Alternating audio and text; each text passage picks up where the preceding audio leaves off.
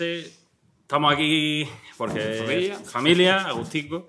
Eh, bueno, gracias a la variable que nos ha cedido el sitio para el tema este, a Paco Subterránea, que lo- siempre lo pasamos bien de ir al sitio. y bueno, y a José Ángel por prestarse a venir, que, es- que bueno, se ha pegado ahí el madrugón y todo, y ahora tiene también, está rulando a Úbeda, a Burgos, no sé, en fin. Y bueno, eh, yo como más o menos me conocéis todos, igualmente me presento, soy periodista, he trabajado en un periódico que como bien sabe aquí algunos es eso, que, que escribe desde una esquela hasta fregar y barrer el suelo, en fin. Como dice Enrique González, escribir en un periódico es... es- Él dice que es como hacer salchicha. Que bueno, un periódico lleva de todo y, y no, y, no, y no es bueno estar mientras están haciendo la salchicha, porque con los periódicos pasa lo mismo. Y ya está, pues voy a contar un poco la historia de Traer a Maña, ya que ponemos un poco el contexto. Eh, hace cuatro años, cuando Juarma sacamos el libro Jorge, en fin, le colaboramos con él para que sacara el, el al final Siempre ganan los monstruos. Mm, A través de Den siempre hay un contacto en común, por la casualidad, pues dijo, "Bueno, mandáselo a Mañas, que es un tío muy agradable. No sé si él lo intuía que era agradable. Y la verdad que se portó muy bien, ¿no? Y tuvo, fue a la presentación de Juanma en Madrid, le, le dio cancha sin, sin interés. Y bueno, pues a partir de ahí ya nos conocimos en Madrid, nos hemos entrevistado, he hecho varias entrevistas en la prensa y, en fin, como él habla mucho, es un charlatán, bueno, cuando, como yo, aunque creo que somos los dos tímidos y aprovechamos lo de, Si nos deja un micrófono. sí, sí. lo de hablar mucho porque no, no sabemos, en fin, dónde... Claro, pues bueno, y a raíz de ahí a mí me gustaba mucho tanto el Cronen como Mensaca, haberlo leído más en la época adolescente, ¿no? que es cuando, cuando mejor viene leer esos libros. Pero bueno, ya después indagando mucho y las entrevistas que he ido leyendo de, de José Ángel y demás, pues me parece que es un, tío súper lúcido y que es muy interesante lo, lo que siempre tiene que decir. Aparte de que, en fin, me he encantado como persona en el trato y demás. Eh, entonces, nos, hace, hace un mes nos vimos en Torremolinos y dije yo, mira, pues tuve una reflexión, eh, también vi el documental, uno que hay en Filming, que eh, se ha hecho relativamente conocido en el ambiente underground, el de la generación Cronin, de cómo hubo escritores que, que, se, que se quedaron colgados ahí un poco en la época esa, en el, tras- en el trasvase a, a Internet. Y, y- y estuvimos en la Feria Libre de Torremolinos y, y, claro, yo, yo la- leo las entrevistas, leí el Pelayo y digo, qué interesante todo lo que cuenta Maña y cómo, eh, en fin, él no está en, esa primera liga literaria, pese a que es un estajanovista de, y está en los últimos años en un momento de forma espectacular. Os recomiendo que si podéis leéis tanto la novela histórica como el de Bar en Bar y demás. Entonces, ya hilando, dije, mira, pues, molaría a través de Camping Motel, que es nuestro, nuestro contubernio, pues decir, pues un día traernos al Maña y echar un día echado un día aquí con él y, y, en fin, charlas que es de lo que se trata. Esto, como veis, yo soy puramente anárquico. Ahora abrimos, le pregunto unas cosas. Él habla mucho, pero intentaré ir cortándole. No, no, eh, Y, no aprovechamos. eh. eh, y ya está, que le preguntéis de todo y hablemos de, No, de- hombre, sí. de- de lo interesante que haces comunidad aquí un poco. En, Subterránea hemos estado en familia y aquí también, y, y es de lo que se trata, de, de pasarlo bien. Y bueno, yendo un poco a lo que me gusta de Maña, eh, yo siempre me considero el eterno adolescente, como mucho, y siempre en Maña me gusta esa mirada punky que tiene de, de me gusta no me gusta, ¿no? De ser radical a veces en la, en la forma en la que hace su... o por lo menos a mí así me lo parece. Otra cosa que me gusta mucho es esa constancia que he dicho. Lleva casi tres décadas eh, escribiendo, aunque, claro, durante un tiempo la gente dice, "Ah, ¿dónde-?", como Prada en el documental, ¿dónde, dónde está Maña? ¿De, de qué vive Maña? Pues el caso es que está y está escribiendo unos libros muy interesantes y yo valoro mucho la constancia y el que se hagan cosas. No sé, quizá eh, yo soy muy flojo y me cuesta, y también soy muy poderoso y esa gente que, que mira, que, que lo hace y tiene esa, esa prolijidad como tiene aquí el amigo Mañas, pues me, me llega mucho. Y después, bueno, pues que comparto mucho, creo, de, los, de, los te- de las temáticas que, que a él le han obsesionado, como el tema del nacionalismo, que creo que está presente en toda su obra, el tema de, bueno, ya la música, los bares, el, el cómo se habla las calles, la calle, que es lo que a mí me gusta mucho y demás, y es un escritor de, de calle. Y yendo un poco de atrás hacia adelante, me gustaría empezar por Pelayo, que ya que hemos estado aquí, que, que, en fin, que se han vendido unos cuantos. Mm, Te quería hacer una pregunta un poco más conflictiva, creo, de las que te han hecho hasta el momento. Eh, que es que otra cosa de las... de la que me gusta de José Ángel es que es un polémico sin querer. Es un pisacharco y se mete, se mete en temas que, en fin, que nadie se ha metido, pero bueno, él, yo- él dice que lo hace sin querer y que, que el dios se le escapa.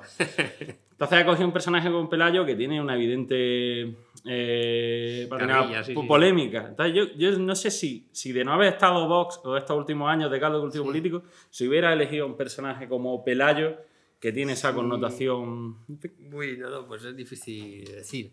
Bueno, eh, vamos, lo primero voy a arrancar un poquito también dando las gracias a la variable, a los que os habéis acercado y tal, y es verdad que no suelo pasar por Granada, digo, la primera vez que vine fue en los años 90, bueno, en aquella época mm, álgida donde yo, bueno, era otra persona, eh, acababa de tener mucho éxito, tenía mucho dinero, con lo cual eh, perdía mucho el tiempo y es verdad que, que me tiré, recuerdo, bueno, uf, sé, tres o cuatro días que no dormí, acabé durmiendo en casa de gente, o sea, era- eso fue una, la primera experiencia que tuve de, de Granada, ¿no? pasó el tiempo, ya vine con la familia, pues al alambre y tal, una cosa como más serieta, y ya ahora vuelvo con una persona de medio siglo, una persona ya, ya, ya sensata. Cumplió, cumplió los hablamos 50 mucho, años el compro- 22 de octubre. O sea, como dice Isabel, eh, bebo, bebo manzanillas, cerveza sin alcohol, esa cosa. Bueno, ahora una cerveza, porque llegaba ya el momento, pero eso, ¿no? Entonces vamos a aprovechar lo que estamos aquí, que, que charlamos, o sea, de verdad, si queréis intervenir en cualquier momento. sí, yo tengo unas pocas preguntas que son muy genéricas. Aprovechemos y- porque es lo, es lo bueno, ¿no?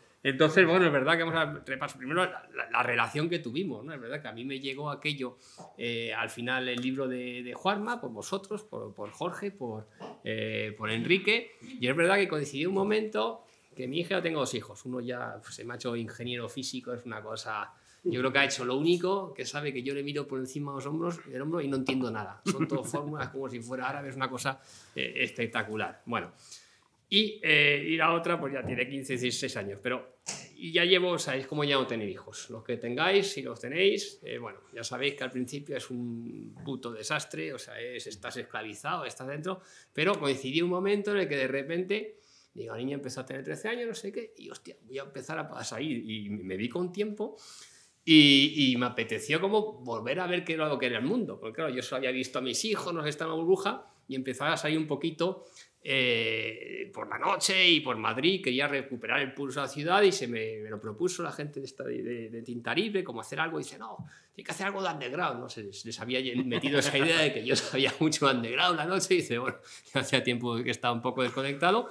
Y digo, ah, pues suena bien, crónicas de underground. Entonces, dentro de ese intento de, de, empezar a, a, conectar, a ver lo que hacía, pues bueno, empecé a ver conciertos un tanto surrealistas, o sea, la verdad es que me metí en unos sitios bastante curiosos y entre las cosas que me llegó ese momento me llegó el libro de, de Juarma, de Juarma y eh, bueno, lo leí, bueno, me encantó, ahora digo lo que, lo, lo que, se, lo que me pareció el libro ¿no? y lo metí dentro de ese, bueno, se hizo una, quería hacer una, una serie de crónicas de underground y bueno, al final reseñé dos o tres cosas, luego ya pues, la vida me llevó a otras cosas, pero bueno, pero sí que recuerdo que ese libro eh, me encantó. O sea, me pareció un libro que además me gusta compararlo cuando alguna vez me ha preguntado a lo de Sergio Morino, esto de la España, España vacía. vacía. Sí, porque sí, de hecho, le han hecho todas las entrevistas sí, por sí, esa sí. línea. Bueno, y ahora... es que para mí, eh, yo siempre decía esto, o sea, aquello me suena un poco a ciencia ficción. O sea, de Juanma me parece la auténtica realidad de los pueblos, donde hay un problema. O sea, la idea de que de las la drogas droga. están en las ciudades más que es al revés. O sea, realmente ya hay un problema de esquizofrenia, de realmente de salud eh, mental importante. Y, y, yo lo, lo, utilizo mucho, me parece que pues tú vives en un pueblo, una... de hecho. También vivo en un pueblo. ¿No? Casa similar de 10.000 habitantes, sí, un pueblo pequeño. Los pueblos, claro, tienen su... Eso, ¿no? Y nada, la verdad es que me encantó. Y luego, eh, bueno, pues aplaudí, quiero decir, me, me, me, hizo mucha ilusión que llegase el libro a donde ha llegado y que esté viviendo y creo que se lo merece, creo que es un, un buen libro y tal. Y luego con Enrique lo que pasaba, yo, joder, cada vez que me, me cruzaba con él y me decía, no, vea, soy el trap, y, ¿qué es eso? Y un beef. Dice, no, hay una, acabo de una cosa que se llama feria. ¿Qué es eso?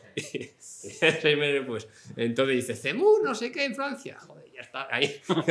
El tío siempre tenía, y me sorprendía, cada vez estaba muy, muy, tenías, es verdad que tienes mucho olfato para ver qué es lo que, eh, qué es lo que se está moviendo, qué es lo que es interesante, y ya empecé a prestarle atención. ¿no? Básicamente es que él está, eh, él está encerrado escribiendo 10.000 cosas y no, y no, y no, se entera. Está, no, bueno, entonces está, es verdad, hombre, yo en la época estaba más, entonces está, está muy pegado a la realidad. A la actualidad, y, sí. Y tienes y tienes talento para eso. O sea, francamente tienes una visión, una capacidad de, de darte cuenta qué es lo que sucede, que yo creo que, que te lo apreciarán, vamos, los que te conocen, los, aparte de que es una puta enciclopedia con páginas, con patas, o sea, el tío sabe de todo. Yo no sé cómo sacas tiempo para devorar todo eso. La ¿eh? Wikipedia la, la recomiendo. Entonces, bueno, cuando, cuando andamos, creo que nos hemos tirado cuatro horas y Isabel ya estaba, fíjate que ya no se cansa nunca de hablar, pero creo que esta vez la hemos dicho, estaba hasta los huevos de irnos a hablar, no puede ser y tal. Luego estaba Miguel, Miguel, pues bueno, él, él estaba ahí, hacía buena compañía y dice, bueno, aceptaba ese, esa medida.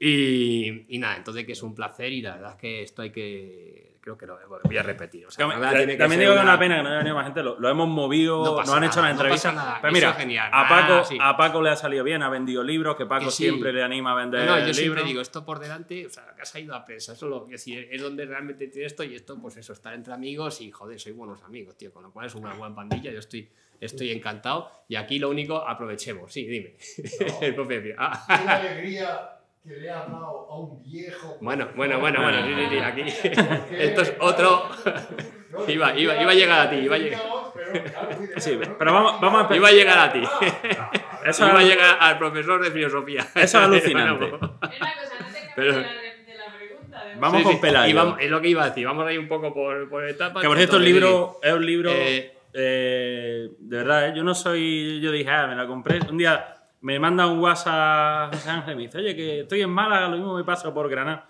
Digo, mira, da la casualidad de que me he mudado a Málaga y que estoy entrando a la casa del libro y tal.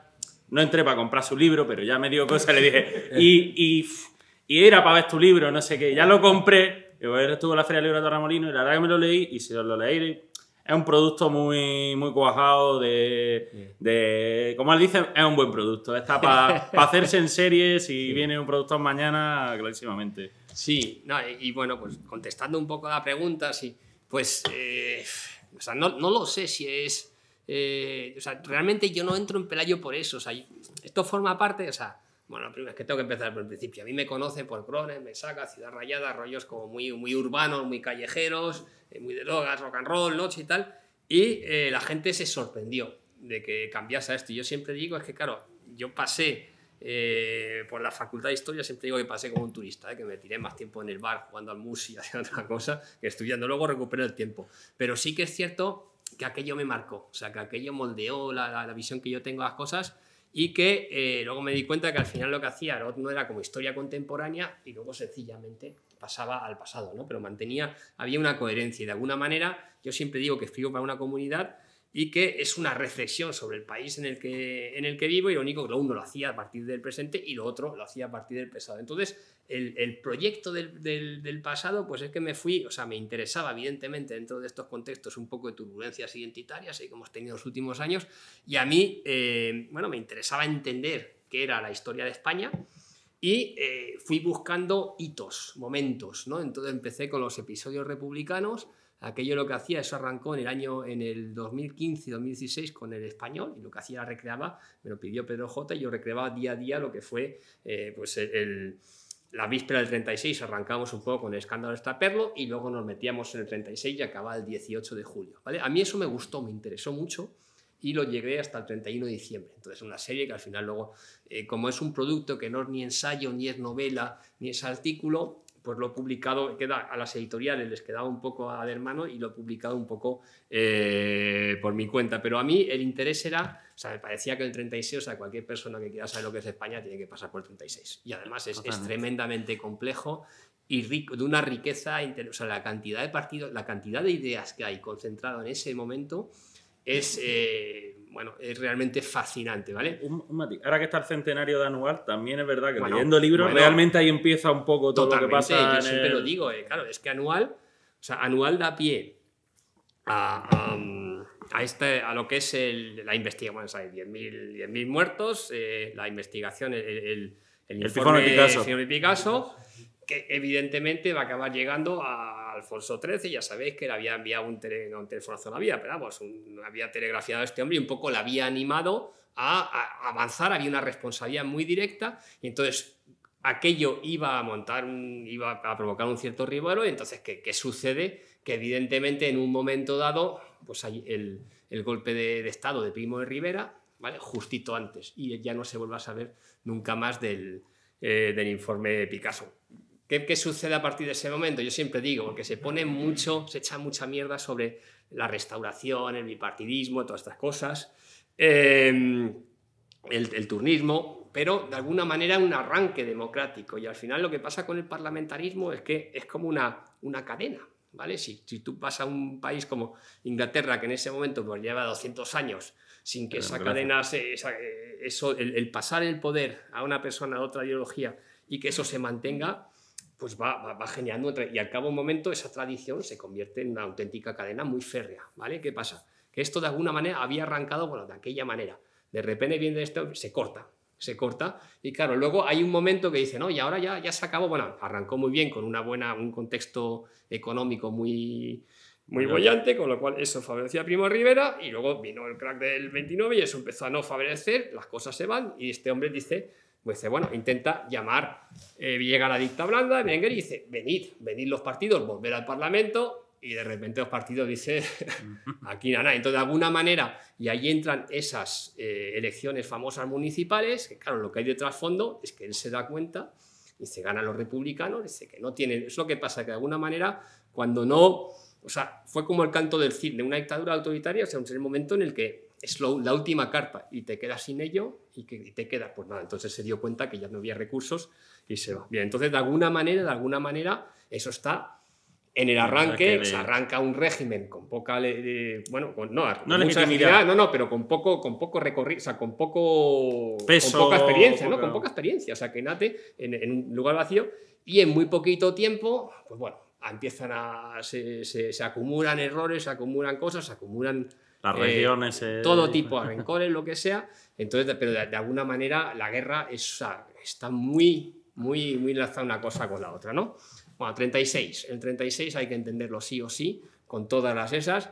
Luego yo me fui a América, que es otro debate súper candente, es decir, conquistador de lo imposible. Entonces ahí ya entras en colonialismo, tal. O sea, es, es Bartolomé otro- de otro- las Casas. eso, o sea, a mí me gusta mucho la controversia de Valladolid. Cuando dice la gente, no, hay que dar aquí eh, perdón, de alguna manera aquello ya fue pedir perdón. O sea, ningún Estado de la época fue capaz de montar una reflexión tan pertinente sobre lo que habían hecho. Dice, "Joder, antes había habido el, el padre Vitoria, sabía que había hecho el derecho de gente, o había hecho una reflexión, tenemos derechos a conquistar territorios que no son nuestros, es bueno, o sea, podemos evangelizarlo por la fuerza, sí o no, qué tal, y luego lo que luego va a ser la película esta de Monty Python, o sea, ese- esa famosa escena que nos han traído romanos, nada, no, no sé qué, ah, bueno, joder, pues las, eh, el, agua- el acueducto, el no sé qué, lo tal, el fútbol, bien, esa cosa, pues eso fue la controversia, esa, esa discusión en plan paródico ya la tuvo, y lo curioso es que ahí, pues las casas sea, uno tiene tendencia a pensar, era el outsider, era como el. No, no, las casas eran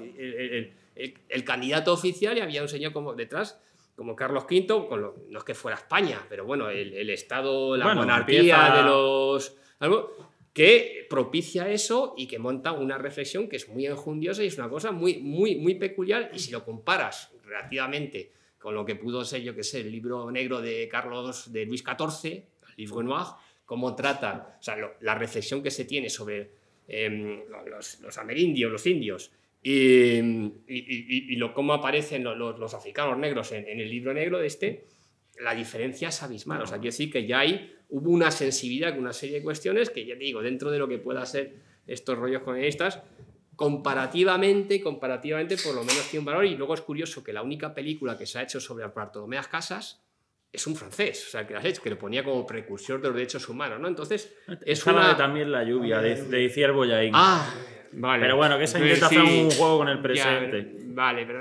sí, vale, ok, poquito, vale. Y, y nada, eso es Conquistadores, que es otra, otra cosa que tiene resonancia en el presente. Luego me fui a El Hispano, es un poco Numancia, ¿vale? Y ahí lo que me quedó es eso, y de Numancia, lo que es la, la- la- la- la destrucción, eh, el cerco y destrucción de Numancia, lo que me, me faltaba, me, me- Digamos que te ha ido a momentos claves que tú considerabas es. Y que eran 711, puntales de. a, a lo que iba, eso. De, la- la- la- de ahí lo que tenía un poco en mente, dice, ¿cómo pudo ser? Me quedé con esta pregunta, ¿sabes? O sea, quería ir al 711, había pasado por el, por el rollo romano, es decir, ¿cómo pudo ser que que la península tardaron 200 años en conquistarlo pueblo a pueblo, a pico y pala y con sangre estudial, y cómo pudo ser que en 712 de repente aparecen unos eh, estos Invasores, señores, invasores. sí, sí, bueno, no, unos señores, eh, los, los Omeya, o sea, los, bueno, Sí. las magrebíes, la- la- las tropas, eh, Con la bandera- con la bandera blanca famosa de los Omeya, Palatín, y, eh, y- y se pasean, es un paseo militar. Entonces, yo no entro a Pelayo, o sea, yo no estoy buscando a Pelayo, yo estoy buscando entender ese momento. El núcleo de la guerra civil española, digamos. Pues- Sí, bueno, vamos, entonces, y, ahí, y, y efectivamente dice, bueno, y ahora voy a buscar eh, quién, qué personaje. Pues empieza a echar un vistazo y dice, coño, este tío. Entonces yo pensaba que estaba ahí subido en las montañas, una especie de Robin Hood y tal. Y empiezas a ver las famosas crónicas, o sea, lo que se sabe de, de Pelayo son, hay tres crónicas. La, la albeldense, que era un tío en Albelda, una especie de monje, que es un poco la más fidedigna, porque es el primero, y luego las dos versiones de la crónica de Alfonso III, se supone que la es de su mano. Eh, hay una versión, la, la, la- la rotense, eh, que es como más fiel, y hay otra, la sebastianense, que está retocada por un tal eh, Sebastián. Y entonces aparece una serie de datos que es lo único que se conoce sobre el tío. Entonces, luego todo está cuestionado ¿eh? en, en, en Pelayo de principio a fin, hasta su, propia, hasta su propia existencia, ¿vale? Entonces ya hay un momento, ya quien nega la mayor, o sea, yo que haya propaganda y tal, pero la mayor negar eso que tiene mucho que ver con lo que decíamos los arabistas, ¿no? O sea, es verdad que la crónica mozárabe no aparece, ¿vale? La crónica mozárabe es el 752, me parece, este era un tío eh, sevillano, eh, se supone, ¿eh? o sea, es, es anónimo, pero se supone que era, hay, o sea, un- el hispalense, no sé cómo se dice, creo que es un Isidoro hispalense, vale, bueno, total, y no menciona a Pelayo, menciona que hay historias movidas allí en las montañas, pero no menciona, entonces, puede ser, claro, que puede ser sencillamente, hay, movidas ahí, no sabe muy bien qué es lo que hay, quiénes son esa gente, estás lejos, ¿sabes? Entonces no parecía que fuera a ser tan importante dentro de, de eso, por ejemplo, ¿no? Luego empieza a aparecer más tarde, pero bueno, ya, ya es, bueno, hay, a mí lo que me parece, o sea, el negacionismo me parece excesivo, porque luego es un tío, entra dentro de la genealogía de los reyes de- del reino de Asturias, es decir, son 19 años, porque luego ya bajó a, a- a Gijón, bajó a, a León, si se arranca eso que se llama reconquista, yo no encuentro otro término, ¿eh? francamente, eso también todo está, está Me ponen, en, ponen en cuestión que durante tantos siglos hubiera un periodo de reconquista, ¿no? Que Bueno, eso es- sí, sí, que una reconquista de siete siglos, pero bueno, es que eso es la peculiaridad de la historia medieval española. Es decir, que durante siete siglos esta gente más o menos... Hombre, puedes verlo, en decir, tenían una idea fija, echar a esta gente como fuera, de alguna manera. Luego, en el fondo, como todo, cuando empiezas a verlo de cerca, pues claro, resulta que a veces sí, había guerra, otras veces no, había tal, todo muy complejo. Y lo de las tres culturas tampoco es una cosa exclusivamente árabe. Yo estaba en Burgos y ahí tenían su barrio Mudéjar y era mucha gente que salía de la zona que eh, las taifas correspondientes les estaban echando por y acababa en, en, en Burgos y se montaban los tres.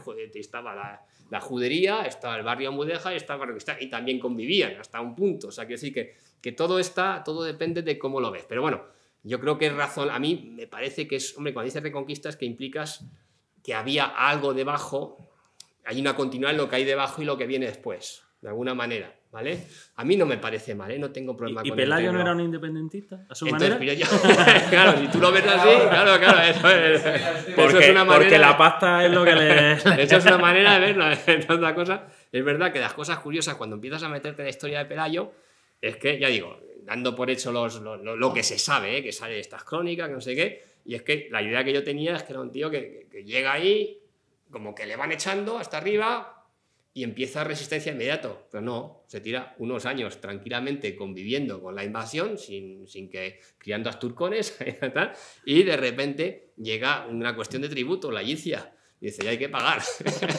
y entonces es ahí cuando de repente, hostia, se empiezan a, a, inflamar y dices, o no, es verdad que no habían pagado aquellos montañeses. Bueno, el- ahí en las hubo un poco de todo, ¿eh? O sea, un aluvión de gente, o sea, era un, eh, pues los- las tribus asturias y cántabras del lugar, los eh, nobles visigodos que se había tal, los hispanos romanos que habrían estado descontentos, en fin, de todo aquel aluvión que se juntó, pues nace el reino de Asturias y luego poco a poco, pues eso va creciendo de alguna manera y en algún momento y en algún momento se va, se va, se va a convertir en España. Entonces, efectivamente, tiene un punto ahí de decir, hostia, no me. Efectivamente, es una manera de verle, tiene, tiene eso, tiene eso, ¿no? Y, y nada, y a mí sobre todo era, era el personaje, digamos que de las cosas que dicen esas crónicas, dicen que era espatario del rey Rodrigo. Los espatarios es una especie de, de, de paje real, sí, o una guardia de cops del, del- del- del rey, ¿no?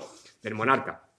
Y eh, es que Rodrigo duró dos telediarios, o sea, duró muy poquito. Dice, si estuvo, es que estuvo que estar, entonces tuvo que estar en el Guadalete. Entonces, si estuvo en el Guadalete, digo, hostia, a mí ya, como, como novelista, ya me permitía un personaje que me permitía abarcarlo todo. Es decir, desde lo que es el, la batalla, el arranque de, de la invasión del 11 a, eh, a la batalla de Covadonga, que es el arranque de la otra, de, la reconquista, ¿no? Entonces es un periodo como muy amplio y era como, pues es- estaba, dice, ya, pues entonces ya, ya me, me apropié de él y le cogí, pero de una manera un poco eh, funcional. Vale, que no, que no era por la polémica. y volviendo, volviendo, efectivamente, no era por la polémica, no era. eh, de hecho, sí, sí, lo- luego lo que pasó, digo, Bueno, joder. es muy interesante, pues el libro lo cuenta desde la óptica de la hermana de Pelayo, así, en fin, tiene ya unos jaleos ahí muy interesantes de sexo, eh, problemas, peleas fraternales. Eso, eso, Eh, eso iba a decir yo, que casi no es protagonista, Pelayo. sí. Eh, interviene. Sí, bueno, es. ¿eh? Claro, es un poco como. Bueno, lo primero es verdad que yo quería un personaje. Eh, lo veía como el, el- el padrino del Pacino, ¿vale? O sea, que decir, que, que al final resulta tú. O sea, el padrino de Coppola, al Pacino, eh, es, el, es el hijo estudiante de- del gran mafioso. Y tú no te esperas que él vaya a convertirse en gran mafioso. Ese es lo, lo bonito de esa película, las cosas brillantes a nivel de historia, es que el que menos parecía lo convirtió. Entonces yo tenía un poco eh, esa idea en mente, ¿no? Y es verdad, y dice, bueno, ¿y quién cuenta la historia? ¿Quién? Entonces, bueno, pues primero es verdad que en el momento en el que estamos, en esta cuarta hora de, de feminismo, pues tienes que fijarte en las mujeres, sí o sí. Y, eh, Y engancha muy bien con- Sí, no, no, no, no, y me decía que, que a lo mejor hace 15 años, pero sencillamente, pero no, por- porque no habría pensado, o sea, a lo mejor me habría fijado más en Pelayo y menos. Qui- Sí. Y, no, no, no- y efectivamente, eh, y lo que es es un poco, pues como eh, es, es Watson con respecto a Sherlock Holmes. O sea, quiero decir, son los ojos, es una pareja de estas, Sí, donde ella es la narradora, es como, y eso está muy bien, ese tipo de juego, con un personaje que está dentro de la historia, que conoce, te permite muchos... Siempre a mí, Watson es brillante, ¿eh? porque está Sherlock Holmes, el realmente inteligente es Watson, o sea, porque es el que Sí, juega con sí, todo, sí, pero claro. te, te hace parecer y, y es capaz de hacer que Sherlock Holmes entre y sale, y, y eso te permite también de repente sal- desaparece tres días, no sabe dónde ha estado, ah, te lo encuentras en un fumador de opio, no sé, decir, permites un poco el, el- el misterio, ¿no? Entonces eso me permitía, como, como Pelayo, hay tantas lagunas y tantas cosas que, Que, no no- sabes. que apenas hay novela, ¿no? Hablamos de que hay una de Jovellanos, ¿no? Me comentaste que hay una obra de teatro, ¿no? La obra de teatro se llama Hay La que hay- muerte- al tener poca, poca, poca, vaya, Pelayo no sabemos muy bien quién es, creo que como novelista es un gozo, ¿no? Poder entrar ahí y decir, hostia, voy a crear mi Pelayo casi, ¿no? Sí, hay brumas, hay, brumas, hay muchas lagunas. Y, y de hecho, y todo lo que hay, ya digo, las cuatro cosas que hay, que si a su padre lo mató a bastonazos el rey Vitiza en Tui, que era un poco la capital, la, la capital del ducado de Galicia, que fue espatario, que se estuvo... son- Son, realmente una, una decena de cositas a partir de las cuales tú tienes que tirar. Y efectivamente, como había tantas brumas, pues me... Yo volviendo al tema España y cerrando la Pelayo y para retrotraernos un poquillo más en tu literatura, en tus cosas, eh, quería preguntarte por el tema de, lo dijiste en Torremolino la última vez que te vi, hablaste de que un Estado al final no lo que tiene es la- el monopolio de la violencia Sí. y la educación. Y es verdad que con la... Tú eres muy crítico, ¿no? Con el- aunque no eres, no eres crítico con el federalismo quizá que casi hay impuesto en España, pero que sí es verdad que la educación está ahí un poco todo revolutum Sí. de 17 autonomías contando su propia historia, ¿no? Sí. Y, y- y al, y al hilo de esto ya cierro esta pregunta, la hago común. es, ¿No te parece que tú, por ejemplo, eres historiador y aparte novelista, ¿no? Novelista eres lo que eres. eh, que en la historia eh, se meten los periodistas, No, se, meten, sí. se meten otra gente y a veces la historia no deberían contarla a histori- los historiadores eh, o deberían consensuarla. Sí, ahí hay, claro, tío, eso pregunta. Bueno, no, lo primero el federalismo, claro, uno, es que uno, como a mí me gusta dentro del socialismo, pues los, los socialistas anarquistas y Proudhon me encanta. O sea, Proudhon cuando, o sea, un libro que empieza, el de, la propiedad privada es el robo, o sea, eh, ya no tienes que leer, o sea, es, es, co- o sea, es saber empezar, o sea, es como Camus, empieza, el único problema importante en la vida es saber si tienes que suicidar o no. Coño, a partir de ahí, tú tira. Bien, Proudhon tiene eh, un libro sobre el federalismo, que es un buen libro, un excelente libro, y tú lo ves y dices, hostia, yo estoy absolutamente a favor, lo veo sobre, sobre el papel, Dice, de puta madre. De hecho, bueno, Pi Margar traduce este libro y es estudiano, o sea, a partir de ahí. Y luego lo de siempre, ver la aplicación concreta. Y entonces empiezas la Primera República, el cantonalismo, patatín, patatán. Entonces, por una parte, son cosas que te tienes una simpatía eh, intelectual y por otra parte, es, la plasmación, pues al final eh, acaba, funciona bien. Es que, claro, es que en España, lo estaba comentando antes con José Luis, es que, claro, tenemos una constitución que chicle. Es decir, es, la constitución permite todo. Yo recuerdo un profesor. Eso pasa en todos los países un no, poco. no, ¿eh? no, no, la constitución nuestra es especial. ¿En- la recuerdo- Ingla- no, en no, no, no, Inglaterra? la, la nuestra, bueno, es que en Inglaterra sí, claro, es que es, es el país anticonstitucional, pues dice, no jodas, tío. Pero ¿qué vamos. decirte? Bueno, no, no, no, pero, pero bueno, quiero decir que, que permite, es una constitución tremendamente, permite todo. O sea, que es, entonces es, permite un trasvase, o sea, la constitución eh, de Estados Unidos no permite todo. O sea, que sí, la, la- la Suiza no la conozco, pero luego se- se- to- hay, hay un mínimo, no sé cómo decirte, ¿sabes? O sea, que sí. Ah, Entonces, de dentro Estados de. Unidos son cuatro artículos mal puestos. Bueno, ahí, lo puedes ver así, no, pero bueno, ahí, ahí, ahí eso. Entonces, hombre, vivimos, la verdad es que la palabra ya no sé por qué la empleamos, que vivimos en un Estado federal, punto pelota. Entonces, los principios que habitan el federalismo, pues sí, pues todos te gustan, no sé qué, y luego la aplicación concreta, pues es, es- yo creo que hay que poner, hay un mínimo. Y el tema de educación es un poco lo mismo, dice, la educación, a mí me parece bien que la, que la, que la compartas, pero no, tienes que, o sea, lo que no puede hacer, o sea, un Estado, quien controla educación, controla el futuro. Entonces, ningún Estado. Es que igual que yo siempre digo que la Segunda República acaba el 19 de julio. ¿Por qué? Porque es cuando eh, reparten armas. Un Estado que, que reparte armas a los sindicatos, eso es donde se ha visto, que si a partir de ese momento es la anomía, es, es ya, ya han perdido toda autoridad. Entonces, de alguna manera, eh, el, el Estado soberano, hay un momento en el que se reparte la, la educación, o sea, hasta unos puntos, digo, vale, que, pero tienes que quedarte con un mínimo, ¿no? Entonces, el problema es que estamos este chicle, entonces, bueno, ese chicle es, puede ser muy bueno, puede no sé qué. En el fondo es un. Va de todo. todo. Pero eh, lo que está claro es que la. Siempre he dicho, la clave es la educación. Entonces, si tú. Si la educación que la controla las autonomías, con lo cual ya a partir de ahí es que no puede hacer nada, porque todas las generaciones van a salir eh, impregnadas, formateadas, según, según quien- Comiendo- quien, quien, quien, quien- controle esa, esa- esa- Comiendo pan con aceite, ¿no? Vale. Como aquí por ejemplo, por ejemplo. Entonces, ahí, ahí está, ahí está, ahí es- entonces desde el momento en el que tú no controlas la, la- la- pues ya no tienes nada que decir, ¿no?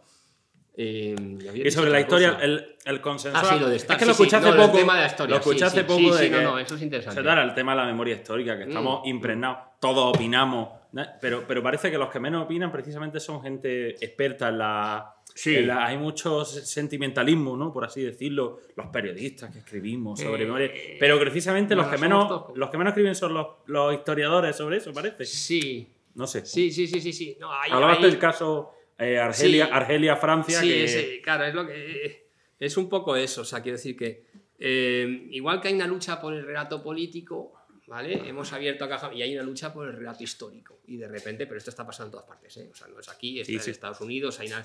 Y eh, en el caso concreto de España, pues hay una ruta, claro, cada una, eh, estos o muchos de ellos empiezan a poner relatos alternativos y, y hay, una, hay una colisión de todo tipo de, de relatos, ¿no? Entonces, eso, eso por una parte. Eh, es verdad que eh, ya de por sí el, plan de estudios pues tiene, puede tener unas lagunas, una serie de cosas y es verdad que yo siempre digo que encima ahí juntan, o sea, los, los novelistas históricos a lo mejor están contando una serie de cosas que sobre lo que se está pasando de puntillas o están, y entonces cumplen de alguna manera una función. Ahí como dices, luego, en el fondo, ¿quién está haciendo la historia? ¿La estamos haciendo? Buenas, ¿qué tal? Un poquito entre todos, ¿no? Entonces, eh, es verdad que a lo mejor un historiador tiene mayor eh, categoría para ciertas cosas, pero también es verdad que están, estamos todos en la misma realidad, ¿no? O sea, yo siempre digo, por ejemplo, con el tema, dice, un, o sea, yo creo, yo no, o sea, el, el rollo de los, de los artistas, es que da igual, metidos en su torre de, marfil, no me gusta. O sea, a mí me gusta, creo que los... Sí, la, intro- la estar- introspección hay que estar en la calle. hay que estar en la, en la realidad, o sea, tienes que estar, tienes que mancharte, tienes que vivir esa realidad y si no... Escuchar cómo se habla en el bar, Efectivamente, efectivamente. Bueno. Hay que meter las manos hasta el codo. Nos vamos a de bar en bar. Entonces, no, que termi- termino, no. Vale, quiero decir sí. que de alguna manera estás. eh, o sea, quiero decir que eh, para mí lo que hago no es muy diferente de lo que hace un periodista. Porque el periodista reflexiona sobre algo a corto y lo único, el periodista re- reflexiona Zed- sobre ello Zeitgeist, que con un, dices, ¿no? con un, con un- el zeitgeist, con un tiempo con un tiempo de cada año y el tipo, o sea, alguien como Olbeck, pues es un comentario de la realidad, dice lo que está sucediendo, la gente está esperando su novela porque sabe que va a ser una reflexión pertinente sobre lo que está sucediendo ahora mismo en Francia. Luego te gustan, entonces es otra manera, es otro, otro tipo de comentarista. Entonces, de alguna manera, también el historiador es un comentarista de la realidad, Sí, no, que va a claro. buscar tal. Entonces, todos esos niveles son equipos. O sea, que si en el fondo, ¿por qué tiene que valer más mi, mi manera de reflexionar que el tuyo? Puedes ser un gran periodista que tiene una, una capacidad de analizar lo que decíamos de Chávez Nogales. Y han quedado como Bueno, de su todo. época. Y al final, ese, ese tío sabía lo que estaba sucediendo. Y era, o sea, su visión, sus reportajes pueden ser el mejor testimonio de esa época, de esos años 30. A lo mejor en otro caso es un novelista, a lo mejor para entender la historia de Francia, a lo mejor las novelas de Olbeck son las que marcan qué es lo que estaba sucediendo Yo- de otra manera, ¿no? Yo ahí siempre veo una inversión los- que, que a los historiadores les gusta mucho ser periodistas y a los Sí. periodistas igual ser historiadores. que es verdad que como hay una fascinación y- por y eso. los lo que pasa es que los tienes así, dice, no, sale el Henry Kamen, que estaba leyendo, y dice, "Ah, no, que la gente no tiene ni puta idea de lo que dice cuando habla de nación. O sea, les gusta como decir, sobre texto de que han, eh, tienen, bueno, suelen tener una comprensión en profundidad de ciertos términos, pero vamos, no estoy, no estoy del todo de acuerdo. O sea, hay cosas a lo mejor, dice, y tú no tienes ni puta idea de lo que está sucediendo. No sé qué, sí que Ya. lo mismo que él dice de eso de excluir, usted no tiene ni puta idea, y los periodistas son no sé qué, y los otros, a lo mejor te pueden decir, tú también no tienes ni puta idea por otro sentido, ¿no? Entonces, bueno, es verdad que lo que sí que es cierto, que en el caso de la novela histórica, claro, hay un componente, una novela histórica en novela ficción, es realidad, verdad, ¿sabes? Con lo cual es casi un oxímoron, ¿no? Es un oxímoron. Entonces, y es verdad que buscas unos efectos estéticos. Efectivamente, un historiador busca la verdad, y, tú, y a veces es verdad que tampoco hay que tomar, o sea, una novela es una novela, o sea, tienes que No, tener una cierta claro. prudencia. Y hay gente que los está leyendo No. como si fuera un libro de texto. No vivimos en un buen momento para que una novela sea una novela. Eh, la literalidad, en fin. Eh, digo que vamos a movernos un poco también. En Historia de España, que, eh, a ver, cuento también cosas de Mañas que se me habían olvidado antes. Mañas se define a sí mismo últimamente como un mercenario de la literatura porque escribe por encargo, escribe cuatro libros al año. Que de esos cuatro libros, a lo mejor eh, hay dos que son bastante buenos. Eh, no obstante, este año escribió de bar en bar. tío, tres o cuatro, ¿no? Eh, Para mí todo. O sea, eh, que me pareció un librazo. Eh, él dice que es como un experimento de... En fin, el libro es como una entrevista, está como la grabadora y cojo lo que va yéndose a bares de menú de un pueblo de Madrid, que me parece que es parecido a Sevilla la Nueva. Eh, y en fin, y él va eh, plasmando la vida de un hombre. de- es como lo definieron por ahí como un cuéntame de, los un cuéntame de los últimos Sí, 50 sí, años, sí. de la corrupción de España. En fin, interesantísimo.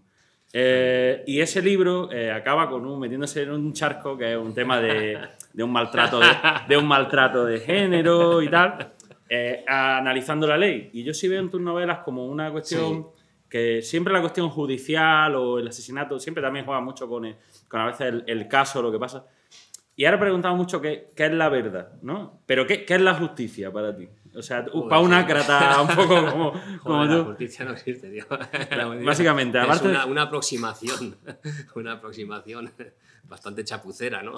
Algo, o sea, ya sabemos que hay tantas presiones sobre la justicia que, que es una cosa la justicia ideal, otra la real, es, es una cosa tremenda, ¿no? Eh, bueno, pero vamos, sí que te interesa, claro, es que todos los temas son muy complicados. O sea, la ley de violencia de género, eh, vale, ya antes hablábamos del caso de Miriam Gutiérrez, que es una boxeadora, esta tía, le- además, ella coincidió, fue de las primeras, o sea, tenía un maltratador, pero o sea, ella parió con un ojo negro. ¿vale? De la hostia que le había dado su, su, pareja y tal. Y justo, y a ella, eh, la ley, eh, esta ley le salvó la vida, permitió, y está, la ley estaba pensada para ella. Bien, de puta madre. Y luego coges el personaje, una vida de bar en bar, y claro, este es el, el ejemplo, es el 1, 2 o 3% de, de gente, eh, bueno, pues para quien eh, ha tenido una mujer que ha abusado de esa, de esa ley. Siempre hay todos estos, todos estos juegos, ¿no? Entonces, a mí me interesan esos casos, me interesan que la gente dice, no, que estás criticando la ley de violencia de género. No, estoy, o sea, que decir, estoy, estoy contando una historia, que la, la circunstancia de que esta historia pues es así, pero es, bueno, pero me interesa ver pues cómo justamente los, las partes buenas, pues está, y dice, no, y aquí es una parte donde donde falla, ¿no? Entonces es una historia que tenía este, este hombre, entre otras, ¿eh? Luego ya era alguien que, que nació en los años 60 en un... En, Palomera. en Palomera eh, Bajas, que es como el, o sea, es el barrio más. eh, o sea, aquello parece la infancia en Lute. O sea, en los años 60, con las corralas, te cuentan historias. Empieza a trabajar muy joven en una fábrica franquista. eh, se afilia, bueno, se hace trotskista, centrismo, empieza a reventar las, eh, las reuniones de las juventudes socialistas. Luego, de repente, monta una imprenta.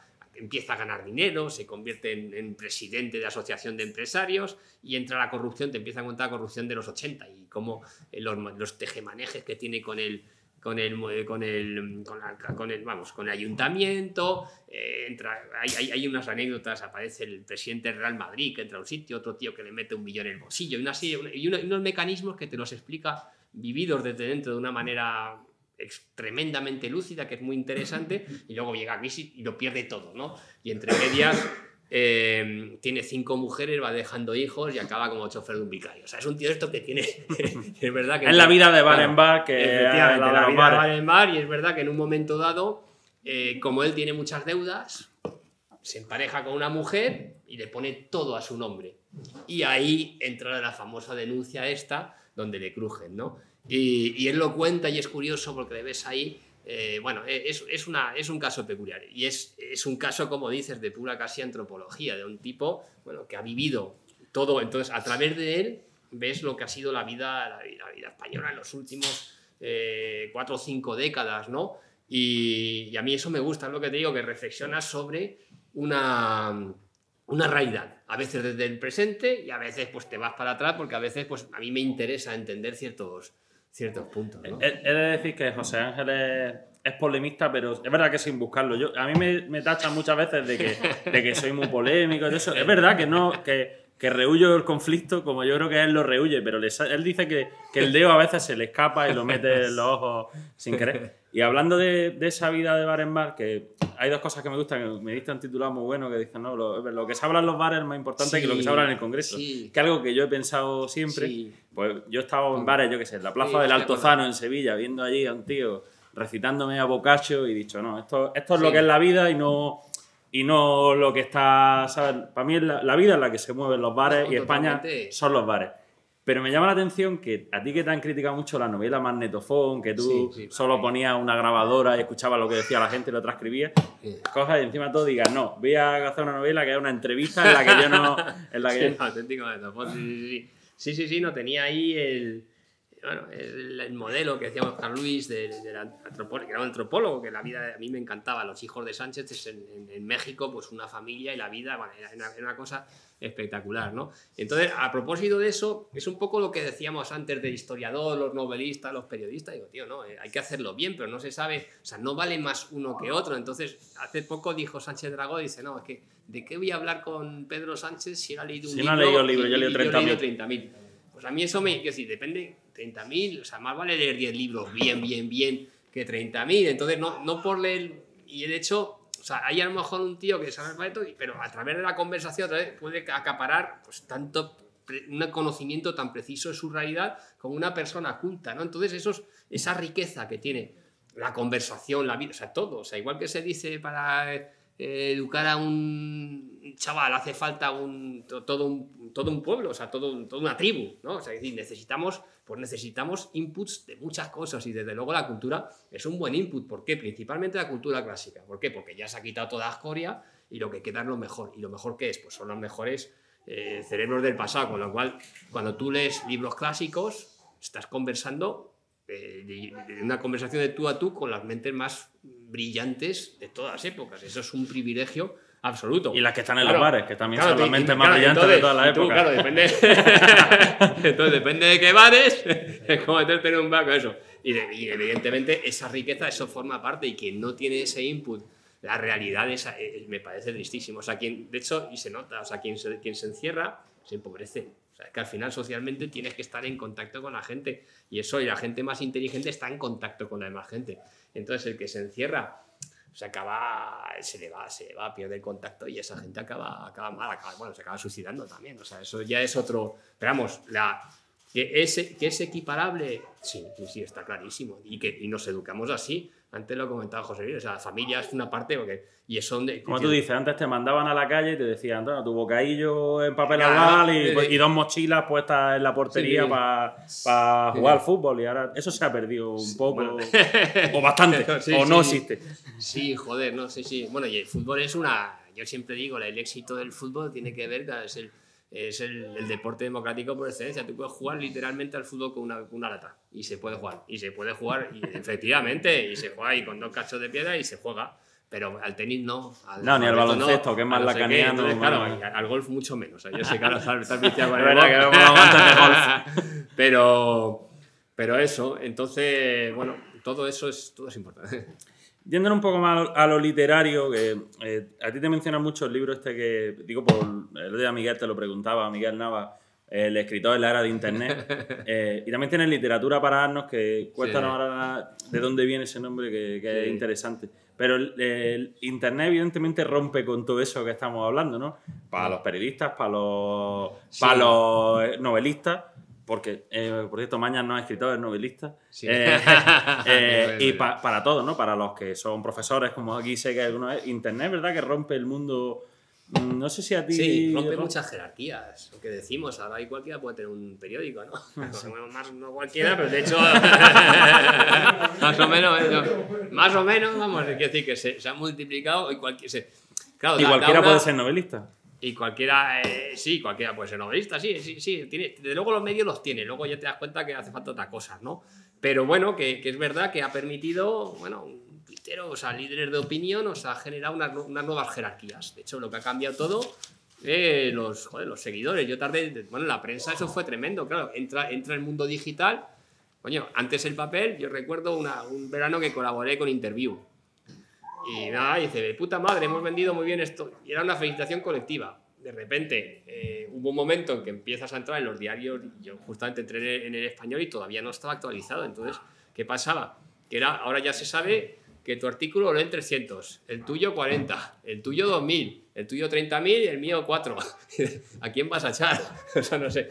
Entonces, eso el, el- el que te ponen un, un número, o sea, se cuantifica ya todo y, y luego ya evidentemente las redes sociales ya ves el capital social de una persona. Si tú, yo voy a contratar a un tío que sea para, da igual, para vender bicicletas, joder, pues echa un vistazo en Facebook, en Insta, y digo, te entra un tío y se tiene, bueno, 10.000 es demasiado, pero vamos, y dice, oye, 500, 600, 1.000. Y dice, "Oye, es un tío que tiene, tiene capital social. Hay otro dice, tiene tres amigos.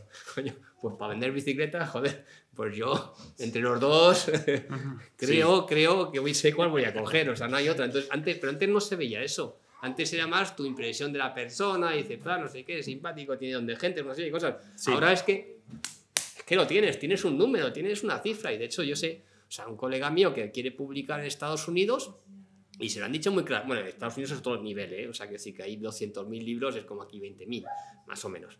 Y le han dicho, dice, no, menos de 15.000 seguidores en Twitter, ni, ni te lo plantees. O sea, que ya forma parte, y de hecho, los editoriales funciona así. No sé si los periódicos llegan a, a lo mismo, pero vamos. Mm, peor. Pero bueno, Eh, forma parte. Pero bueno, En la- y- pero y- por otra parte es así, es verdad que es un. Antes no sé y ahora lo ves, y es un, es un, es un elemento de. Y del mundo literario que decimos, bueno, vengo sí, diciendo- eso vengo- existe. eh, no, no, eh, eso existe. A ver, tú has sacado muchas novelas en los últimos años. A mí me gusta mucho ese, esa autodefinición que haces de ser novelista, ¿no? De no ser escritor, que escritor parece que es mayúscula. Ese novelista que, que novela y que sigue creyendo en la ficción, en la creación de personajes, en la, en la creación de un mundo, por así decirlo, o, Sí, o sí. De, tu, o de tu mundo. Pero me llama la atención que, que tú Es más sigas... técnico, es más artesanal. O sea, sí, Más el, de el los- escritor parece que le pide una mayúscula Una- una tribuna para. Un Arbeiter, Sí, ¿no? Que sí, dicen sí, los sí. alemanes, un obrero Sí, de, no, no, de- sí, sí, sí. de la escritura. ¿Qué te sigue llamando del mundo este? Porque tú en su día fuiste el de la guerra civil literaria, Ah, el de sí. escribir novela con B, el de pegarle una patada a los mundillos estos literarios de los escritores Sí, con sí. fulares y tal, y qué guay Sí, soy. Sigue. O sea, que tú vas a tu bola Sí, y sigues... Hombre, eso decía, joder, decía Sabato, ¿no? Que, que dice una, una sala llena de escritores como, una, como si fueran todos tuertos, ¿sabes? Y dice, oye, que no, no son que todos iguales, ¿no? Esa sensación, entrar en un sitio están todos cojos, ¿no? Y dice, coño, de la, de la pierna izquierda, no sé. Eh, entonces es verdad que todos los mundillos, que a todos nos pasa, pues eh, hay una sensación de, dice, joder, te parecen un poco parecidos, ¿no? Entonces tienes tendencia a revivirlos y te vas a otro mundillo, ¿no? A nosotros los periodistas nos gustará tratar con pues, eh, pintores, escritores, otra cosa, ¿no? Pero periodista, periodista, este joder, tío. Pues esto es un poco igual. solo, dices, eh, a mí siempre me ha, me ha no lo sé. bueno, Los no deportistas, tenía- los deportistas son los más deportistas, interesantes. ah, sí. Más que los políticos, los- sí. Y a mí me ha gustado todo, me ha interesado todo, pero los que menos, no sé, no me, no me interesaban. O sea, me parecen.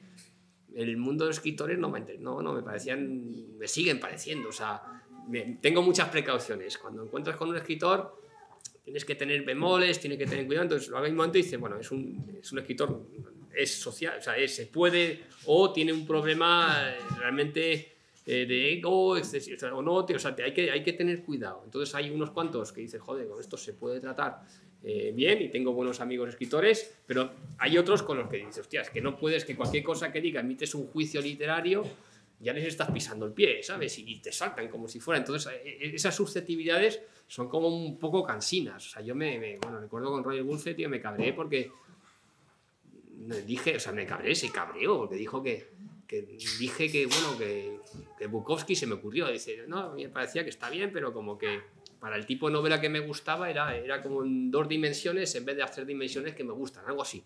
Bueno, me, me puso, sacó la ametralladora y dice, no, porque tal, y cómo vas a decir eso, y tú, algún día Bukowski será tal y tú serás una mierda. Yo no estaba, Eh, yo no estaba, yo no estaba, yo sencillamente estaba diciendo que me, o sea, era una, era una cosa, eh, me estaba saliendo y le estaba dando una apreciación que me parecía más, dije, como unos dibujos japoneses, que tenía una cierta belleza, pero que le faltaba esa tal. Y ese tipo de cosas son muy típicas de, de- de- de debate. Entonces, claro, yo, yo me lo hacen una vez, dos veces, la tercera ya, ya corto y, y- y lo evito. Y prefiero con escritores hablar de otras cosas. Entre los amigos que perdiste en el Cronen y, y la- y lo literario. Bueno, y la- el cabreo, me, no, yo, yo y Roger me, nos llevamos bien. Y la otra cosa fue, de repente que le dije, hubo un poema suyo que me gustó mucho, decía eh, que la poesía era como una vaca cruzando una autopista. Algo así. ahí. Y me gustaba la definición porque dice, joder, una cosa anacrónica que de repente te imaginas, ¿no?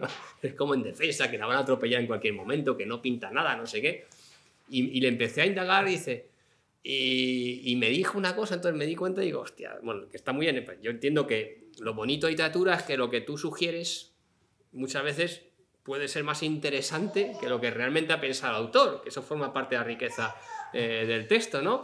Entonces él me dijo y me, dijo, pero tú eres gilipollas, ¿cómo se puede meter una vaca en la autopista? Me empieza- o sea, me, me- me- se puso sarcástico y luego dice, no, y resulta que la imagen suya venía de que cuando iba a su casa ah, en Oviedo, no que sé, pues veía por ahí unas vacas, tío, lo que sea. eh, que estaban por ahí. Entonces era sencillamente una imagen impresionista y a mí me interesaba más Lo el otro. pensamiento que el otro. Bueno, por decir otra, otra, y ya digo, ya la tercera, digo, mira, tío, le puse una cruz, ya me llamó y ya no volvimos a hablar.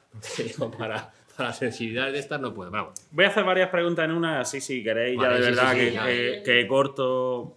Me voy a ir ya a la, digamos, a la parte Cronen, que yo entiendo Cronen como desde que escribiste Cronen, desde que estabas aquí con, con el querido profesor, hasta, hasta muchos años después, que montaste el bar, te fuiste por ahí fuera, volviste, entendiste que el francés no, no, te, no te animaba al oído para escribir y demás.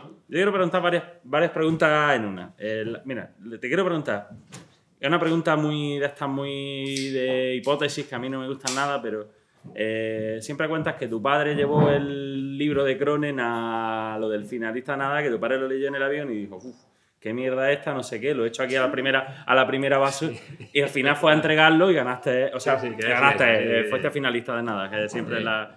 Es, es un poco que hubiera sido de tu vida si, sin, ha- sin haber escrito Cronen. No, estaríamos aquí, desde no, luego. No, no, no lo sé, tío. Es verdad que yo me, me- me metí en estudié historia, que tampoco parecía que una cosa que me, a priori no me, no me ha gustado de a ti. Decía, a mí siempre me gusta más la... el- me- luego entendía, había una parte de historia que me gustaba, que era la filosofía de historia, las, las, las macrovisiones, más que los, eh, el trabajo de, de- de campo. de- y pues no, no lo sé, porque tampoco, o sea, yo lo que sí que lo hice muy rápido es que fue una cosa, estuve un año en Madrid, estuve un año en Sussex como Erasmus, luego como nadie quería ir a Grenoble en Francia, no, no tenía el derecho, pero me, me lo, me, lo, me, lo, concedieron porque no quería ir nadie y dijo, ah, pues yo, yo fui sin tener ni puta idea, yo cogía, tomaba notas fonéticas, que lo pasé fatal porque no tenía ni puta idea, luego ya he aprendido.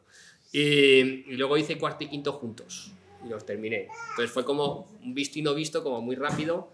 Y, y la idea era, eh, yo quería, necesitaba un año, eso parte un poco de mi padre, pues un año para eh, intentar escribir. Quería intentarlo un año. Y entonces a medida de ese año, pues sucedió, lo envié al, al nadar y tuve mucha, es una cosa que no ocurre nunca, ¿eh? y que yo creo que hoy es imposible. Desde luego nada es imposible, lo garantizo. La época, el finalista era un poco el Nada imposible que tu, que tu padre no tirara Ah, bueno, el manuscrito también. a la, la primera También, papelera. también, ¿no? Y, y entonces, no, pues no lo sé, es que no tengo ni, no tengo ni idea, es que no- como no- ni siquiera se planteó cómo sucedió, pues sucedió, ni, ni, lo, ni lo había pensado, veamos. Sí que es verdad, sí que es verdad que eh, eh, que, aquello que yo me metí en historia fue como una enorme decepción, o sea, yo, pero yo sabía que historia me, me molaba porque eran los, los más, éramos, eh, historia estaba pegada con, con derecho, y los de derecho eran horribles y tal, una cosa, si hay alguno de derecho, lo siento, pero vamos, eran, vamos, una cosa, y los de historia pues está lleno de porretas, todo tomando el sol y todo, mucho mus y mucho no sé qué, y a mí me, me molaba todo lo... Mi mamá quería que yo fuese Icade, lo siento, José. No, no, no. No pude. Pero, no, pero lo cierto es que no tenía nada claro, no, no sabía lo que quería. Lo que sabía lo que no quería. O sea, sí que sé que me, me, me atraía, me atraía unas cosas. La música la dejaste al año siguiente. La música me atrajo, el mundillo molaba, pero luego, claro, también me di cuenta que era muy malo. Pero rele- releyendo Cronen estos días, un poco por curiosidad, eh, Cronen, que digo que es como, ya se ha convertido en mi libro como Territorio Comanche, que leo casi, leo casi todos los años, son dos libros. Siempre me gusta mucho releer Cronen, porque el- nada más que la primera página que empieza juego, sí, sí, con sí. ese diálogo ya me parece que es de esos arranques que marcan...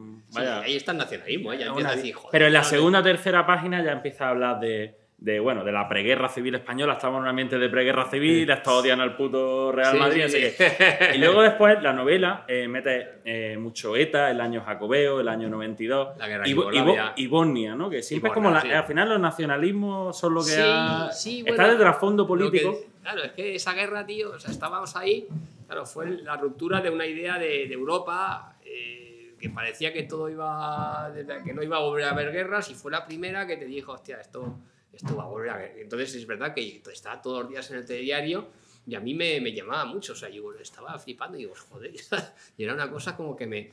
Y es un poco, pero es, es, en el fondo una buena primera novela, yo creo que es una buena con sus virtudes y sus defectos, sus carencias, pero bueno, sus Ahora escribe mucho mejor, digamos. pero al mismo tiempo tiene ya muchas cosas, como dice, Ah, bueno. tiene ya el interés por la historia, tiene, o sea, te das cuenta que en las primeras novelas, bueno, pasa con la náusea de, de Sartre, o sea, ya está, está todo Sartre ahí, luego ya hizo mil cosas muy raras, pero de alguna manera, de alguna manera, Moravia, ¿no? Lo- lo- eh, está- están esas primeras novelas y en el Cronen sí de alguna manera están todos los intereses que luego los he ido desarrollando, pero el, el germen de casi todo, de casi todo ya está. O sea, por la Sí, no, historia, sí, por no sí, sé qué, mí- es un mí- poco que sí. de muchas cosas que admiro que he olvidado de decirte en esta charla, que era. eh, ya abro el turno de preguntas. La verdad que el Cronen me llama la atención que está escrito en el año 92, si no me equivoco. En el año 92 está plasmado. Probablemente lo escribieras con 21 años, que me parece admirable escribir con 21 años, ya no es por. En fin, me parece increíble que sin ir a cursos literarios como ahora, ni historias de estas, eh, los diálogos como están plasmados, cu- cuando los relees dices, bueno, aquí hay un lector que se notaba que habías leído mucho y, y, en fin, que me parece muy interesante todo el tema de Bosnia, los nacionalismos que ella mete ahí, la guerra de Yugoslavia y tal. Y bueno, ahora se me ocurrirán más preguntas y, en fin, que habráis, digáis, preguntáis alguna cosa. aquí lo que está muy interesante de Cronen es que es el 92, es el verano del 92. España, digamos, la Eh, claro, España de- Teóricamente, era la Expo, la, eh, las Olimpiadas en Barcelona, teóricamente. Claro, no, pero teóricamente. Nació todo Isabel. iba. todo, no, no. Todo iba, todo iba. Y sin embargo, en esa novela lo que está bien es que se ve que ya hay, hay algo, hay, una, hay un clima de. de algo que no va bien. De algo que no va bien, que se va a ver. Una, Es que, una es que esa, es la, germen- esa es la pregunta que se me ha olvidado, porque tú me diste otro titular más bueno que en su día me, me censuraron, que era. En los 90 era Pedro J dando caña, era el pesimismo que había en esos 90, Sí. Que en verdad es depresivo, acaba siempre en las novelas con el asesinato, el homicidio, el no sé qué, y de fondo todas esas noticias que van amargando. Es decir, los 90, Sí. no- los 90 yo lo escuché una vez, no sé si de tus novelas o de otra, que era como la primera generación eh, de jóvenes que los padres ya trabajaban y dejaban a los niños un poco a su aire y no había ese núcleo familiar realmente Sí. eh, ahí. Y es verdad que, que hay un pozo de pesimismo en los 90 con todos los escándalos, digamos, del felipismo. Sí, sí, sí, con sí, hay- hay- Nos caemos de la, del Sí, la, burro. la música, Nirvana, no sé qué, decir, es, es muy, o sea, es muy angustia. Hay, una- hay, una- hay un clima negro, un clima de mucha agresividad, de una, de una tensión. Y efectivamente sí, hay mucho, era, era, sí, era un, yo lo, lo entiendo un poquito, arranca una fiesta y la Violen- fiesta- violento también. Sí, la música es muy agresiva, o sea, empieza a ser, o sea, la música, lo que es la música discotequera, era dura, o sea, tiene un punto de muy duro, o sea, la, la 80 era un poquito más lúdicos, ¿no? De repente empezabas ahí estas, estos after hours, las, eh, los chavalitos cada vez que salían más, mm, los enanos rabiosos, llamaban, como muy- estos que, que se habían quedado pequeñitos, eran enanos porque habían pastillado demasiado pronto, ¿no? Y tenían una mala leche tremenda, veías ese tipo de, de clima con un... Y, sí que había un puntito de, negro, ¿no? Oscuro, que yo lo asocio, creo que los 80 como más luminosos, más, más positivos, se arranca una fiesta, "Ah, guay, guay, que no está Eh, Se cayó, el muro, coloque", Bel- se cayó el muro de Berlín y, la URSS se despedazó Sí, y ya Galván, tío. ¿Dónde se ha visto que un alcalde diga a la gente al loro y el que no esté colocado que se coloque, tío? Es que eso no existe en el mundo entero, tío. Eso, eso es, es totalmente Bueno, pero era una, surrealista. era una forma de propaganda, de vender la cultura luego como, ya lo- lo como connota- única forma de justicia social, casi. Sí, no, luego Lenore ha trabajado mucho el, el- el resaltar la parte conformista y, y- y- y- y tonta de, de- de la movida, ¿no? Que a lo mejor se ha pasado un poco de un extremo al otro. Hay un hilo Pero- continuista, desde los 90 Sí. hasta ahí, casi que no había otra década, yo creo. Sí. En los 90 sigue un poco a Sí, día de hoy, la- con internet, que evidentemente rompe la, la jerarquía. Sí. Habla, habla. Pregunta muy... ¿Te imaginas que escribir ahora historias del Cronen, tal como son... son bueno, me voy a Ah, es imposible.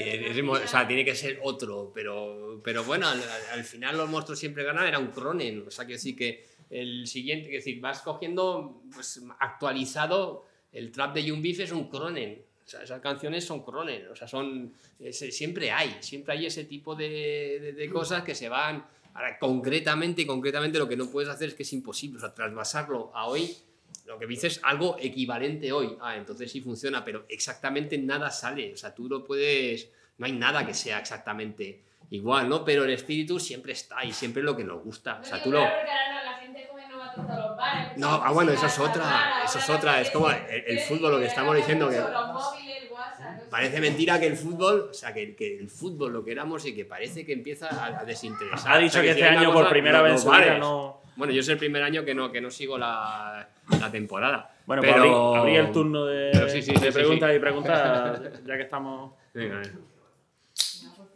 Venga, Miguelón. sí, sí, sí. No, no, venga tú, Eh, Enrique. Venga, Ide. No, Venga. sé si se ve la mano. No, no, no, no. Una tengo pregunta. preguntas, pero voy a hacer una y doy Sí, sí. No, no, haz las dos preguntas.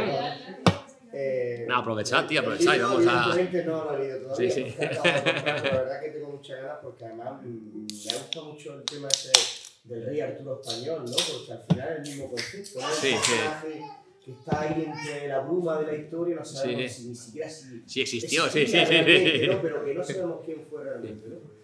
Entonces, eh, a mí me interesó mucho cómo, cómo ha hecho eh, un proceso de documentación de un personaje Sí, del que apenas no se sabe nada. El tema de las crónicas, Vale. además se pueden hasta contradecir entre ellas. Claro. Pues para reproducir esa, ese momento histórico, Vale, eh, pues, en el, en el siglo VIII es súper jodido. Entonces te vas, por una parte, vas a las fuentes, pues, que son muy poquitas, las tres crónicas que te he dicho, la, la Albelda y las, las dos crónicas de Alfonso III, te vas a la crónica mozárabe y luego ya vas a los historiadores, te vas a Méndez Pidel, te vas a Sánchez Albornoz, el origen de la nación española, el reino de Asturias, te vas a los árabes, los historiadores árabes, por una parte, y luego por otra parte vas reconstruyendo, pues por ejemplo, eh, Méndez Pidal tiene un- una, una- un- eh, una, historia de, España tremenda y, por ejemplo, la España musulmana es un muy buen volumen que te sirve, pues a mí me ha servido pues, para la Córdoba, eh, la, Córdoba musulmana recién islamizada, que hay un momento que ocupas una iglesia eh, y lo primero que hacían era mit- mitad para el culto cristiano, mitad para el otro, ¿no? Entonces,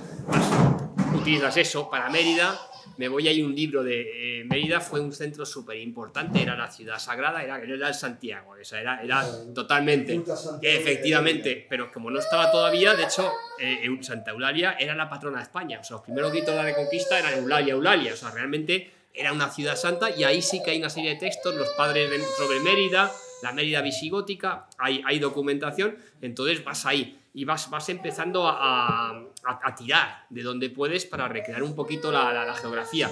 He tirado mucho, pues por ejemplo, eh, el, el- el periodo visigodo ahora se está estudiando mucho, ¿vale? Y, y Soto Chica, Es de Granada, Sí, de Granada, son medievalistas. sí. Tiene un libro sobre eh, visigodos, hijos de, eh, hijos de un dios furioso, que está muy bien. Él, él- él era militar, por ejemplo, la batalla de Guadalete la recrea muy bien, entonces de ahí, por ejemplo, tiras cosas. Él es de los que dice que en vez del Guadalete, porque todo está cuestionado, realmente la batalla de Guadalete tuvo lugar junto a la de la Janda, que hay que imaginarse también que en la época era un humedal mucho más grande que actualmente, ¿eh? que yo me fui a donde él decía con el GPS, es imposible de, imaginarte. Eh, Primero es que hay mucha vegetación, entonces claro, para un ejército, los de Tarik, cuando cruza, que es el general el primero, que, que ya sabéis que se queda en Gibraltar, luego sube y tal, entonces lo primero que imagino que hicieron fue quemar el lugar. para poder instalarse como, como ejército, ¿no? Entonces, tienes, te, te- te cuesta un montón, pero bueno, va- va- va- vas cogiendo, ¿no? Y luego tiras también, por una parte, eso, vas a los sitios, que forma parte, te visualizas un poco cómo pudiera ser, te vas a Covadonga, te vas a no sé qué, te vas, vas un poco viendo los, eh, los escenarios y luego también chupas de todos los romances medievales, eh, lo que decía Jovellano, literatura en el siglo XVIII, Munuza tiene, se llama La muerte de Munuza, Moratín padre tiene otro libro, empiezas a ver literatura, en el siglo XIX hay libros, eh, hay uno de Escandonos, hay, hay- y vas viendo también trabajos divulgativos y con todo eso vas como, Lo- como juntando y luego vas mucho, hay mucha tradición oral. Cuando te vas por León, en los pueblos de León, hay, o sea, esto hay mucha gente en, evidentemente Asturias, ¿vale? Pero Cantabria también, porque ahí, ahí hubo un momento que Revilla y Barbón eh, se enzarzaron porque Revilla dice eh, que nació En Santander totalmente, en sí, en, sí. en Colgaya, tío, y bueno, otro- eso, eso no sale en ningún sitio, ¿eh? eso ya es una especulación, hay un tío que ha hecho un trabajo, eh, pero bueno, vas un poco, vas juntando y vas sacando cosas, que claro, también te interesa, o sea, por ejemplo, el tema, eh, el conde Don Julián, la violación de, la de la leyenda de, de Rodrigo, que evidentemente no sería así. Evidente, el tío era, tampoco La sabe. Sí, la cábala, la famosa cábala. Entonces el tío eh, era un conde, o sea, evidentemente Ceuta, lo que es Septem entonces, estaba bajo dominio visigodo, eh, respondía a, a Toledo, claramente prestó los barcos y les dijo, mira, allí tenéis Gibraltar, ese sitio guay para tal, y los otros están, o sea, les dio las orientaciones, buenas orientaciones eh, por cómo tenían que, que actuar, que fuera por ese, no, pero claro, si yo recreo eso, si yo te quito eso, forma parte de la historia también, ¿no? Entonces te interesa también, yo creo que eh, le escamotearía al lector algo si no le das también las leyendas que, que rodean a Pelayo, ¿no? Es como Adosinda aparece en las, en las, eh, aparece en las crónicas, eh, su relación con Munuza, que era el gobernador de Gijón, y, eh, y parece, según esta crónica, que, que- que, Pelayo lo, lo impidió, y luego hay leyendas también. Entonces esas leyendas forman también parte de la historia. ¿Qué es la diferencia? Un historiador obvia todo eso, pero tú como novelista tienes que dar también el, el- el pack completo, ¿no? Entonces... Lo eh, interesante un poco, así poniéndonos un poco pedante a eso del mito, el mito y el, el logos, ¿no? El tema de, de que él ha creado su propio mito de Pelayo, ¿no? El Cid a lo mejor está muy quemado ya, Sí. ha hecho Pérez Reverte, hay una serie, y Pelayo, hay tanta bruma que dice, bueno, estoy creando Sí, mi propia... Y es Sí, un sí. Pelayo con Muy mucha, es, es un Pelayo con muchas sombras si lees después el libro, con bastantes sí. sombras. Un Pelayo que puede caer hasta antipático. Pero bueno, es lo interesante que él ha creado su Pelayo. Creo yo, Sí, ¿eh? sí, no sí, estoy sí. hablando por No, ti. Y bueno, la otra pregunta que... Mm. La otra pregunta no tiene que ver con la primera. Es en referencia al libro de Juarma, que había un artículo que se le hace poco porque él estaba indignado, ¿no? porque Vox, que igual, al igual que Enrique también tiene un gran olfato ¿no? para, para cosas, pues eh, utilizó el libro de Juarma ¿no? en un momento determinado eh, y publicó algo así como el libro que Pedro Sánchez no quiere No, leer, ese, fue, ¿no? ese fue un artículo del español. Ah, Ah, fue el artículo que del se Español. ve uno peri- una, una periodista del español que no está por aquí ni es ni en fin y, la, y, fue, una- y fue un titular un poco Juanma que también los, los y la verdad que el titular era un poco Ya, porque ya. Juanma decía que- lo he escrito en el 2017 que, Sí, ni, sí. que ni estaba Pedro Sánchez Juanma se indignó mucho y con sí, razón Pero, pero al mismo tiempo es que yo, vamos, ahí, si te, si te pones a, a querer controlarlo todo, no, te, te vuelves loco. O sea, ya haces como Berengo Peggy y dices, escribes tú solo, no permites que toquen una coma y tal. Entonces hay un momento que tú tienes que aceptar, es el juego, es el juego de los titulares. Yo sé que muchas veces ni siquiera es quien firma, la- que, que te lo ponen por encima, que a veces... Pero eh, yo, yo ahí, eh, a mí me da, quiero decir, cuanto más... Yo, yo he decidido hace tiempo que me parece que la gente diga lo que quiera, muchas cosas que si no es imposible, tú no puedes estar rectificando. yo creo que tienes que saber muy bien cuando Eh, entras en el juego del periodismo es decir cuando que es probable que escribas es- la es- primera es lícito, novela es es muy lícito. complejo porque No, yo creo que no te debes, lo que tiene que hacer es, dice, coño, es- eso me lo enseñó la primera editora que yo tuve, eh, que me dijo, ni, ni lo lea, dice, tienes una página, esto es bueno. Eso Entonces, siempre lo ha dicho que García. que- No leas las críticas, ya está. No Sí, leas- sí, entonces si te metes dentro, claro, ya es otra. Pero bueno, no lo sé. Hombre, entiendo que hay a veces, muchas veces escuecen, hay cosas que te. Pero e- es el juego y es la vida, pero gracias a eso, él está ahí también. O No, sea, que sí. que tú debes. Lo, lo curioso de esos titulares es que muchas veces son los mejores que te pueden poner porque de repente claro, también ha creado gente, un sí. viral de estos como hablamos antes, ¿no? Sí, sí, sí, sí, Ese titular era como, claro, Juarma lo puso, esto es alucinante, no sé qué. Sí. El aluvión de gente. Juarma tiene razón, cómo van estos del español, no sé qué, que son... Sí, sí, sí. en realidad, mm, claro, te puede dar coraje y tu hora y todo eso, pero que realmente visto desde la visión del periodista o del marketing, Sí, yo creo está. que es hasta, Yo- yo sí- hasta positivo. Claro, Sí. Lo que yo decía que tengo ganas de leer el libro porque no sé si es posible que se politice, ¿no? También, que se utilice el personaje, ¿no? No sé, pero no sé la visión que... Sí, no, que bueno. Sí, sí, sí, yo la verdad es que sí. sí No es un matamoros, o sea, no es... Sí, sí, le, le podía, claro. sí, la cruz, sí, sí, es verdad que puedes. A ver, Mel Gibson vi- vino hace dos años y se interesó por la posibilidad de hacer un, un ¿vale? Le pareció, a mí, la verdad es que me llamó la, me llamó la atención dos cosas. Una eh, fue esto, digo, hostia, y luego lo entendí, dije, joder, me parecía, efectivamente, tiene, tiene dos, dos componentes. Una, tienes un Braveheart, tienes unos escenarios, tienes una laguna, tienes un, un personaje y un contexto que es muy especial. O sea, realmente pasan muchísimas cosas. O sea, es un tío, o sea, asiste a una- unas turbulencias tremendas. Entonces, ahí, ahí hay mucho, mucho potencial. Y luego, claro, dice, joder, Mel Gibson, es un integrista católico. Eh, tú ves Apocalipto, me parece un peliculón espectacular, ¿eh? Espectacular. No, no, pero al final, claro, dices, joder, llegan ahí las carabelas, dices, menos mal que han llegado. O sea, es totalmente Mel Gibson, ¿eh? Que me encantan sus películas, pero claro, tío, entonces yo veo el Mel Gibson que. O sea, el, el pelayo que ve Mel Gibson. No es exactamente el pelayo, yo busco un pelayo más humano, un pelayo. Es, otro, es otra sensibilidad, otra cosa, pero se entiende. Sé que soy muy pesado y soy ¿Sí? un complemento, pero yo creo que también Pelayo de todas estas novelas, Ah, eh. mi versión, va de una cosa muy importante, ¿no? De que es la leyenda negra, todo eso. Es al final quitarnos el complejo de tener que escribir la novela histórica de otros sitios, ¿no? También, vamos a hablar, sí, vamos a sí, hablar sí, de, de España, de Pelayo, del que sea, ¿no? Sí, pero yo- yo pero un poco siempre- vamos, vamos a hablar de lo nuestro, que es un poco como ahora se lleva con la Sí. música, con, con el... tema ese hecho de, de Rey Arturo, ¿no? Eh, es, verdad que es un mito, Sí, sí. en la construcción mito es muy similar, ¿no? La- Totalmente, el totalmente. de una nación. Totalmente, sí, está ahí y, y- y de hecho compara los dos y parece que o sea, el rey británico, el rey Arturo original sería un rey britano-romano en el siglo VI que luchó contra las invasiones sajonas de la Gran Bretaña. Vale, eso tiene una importancia histórica para Europa muy relativa.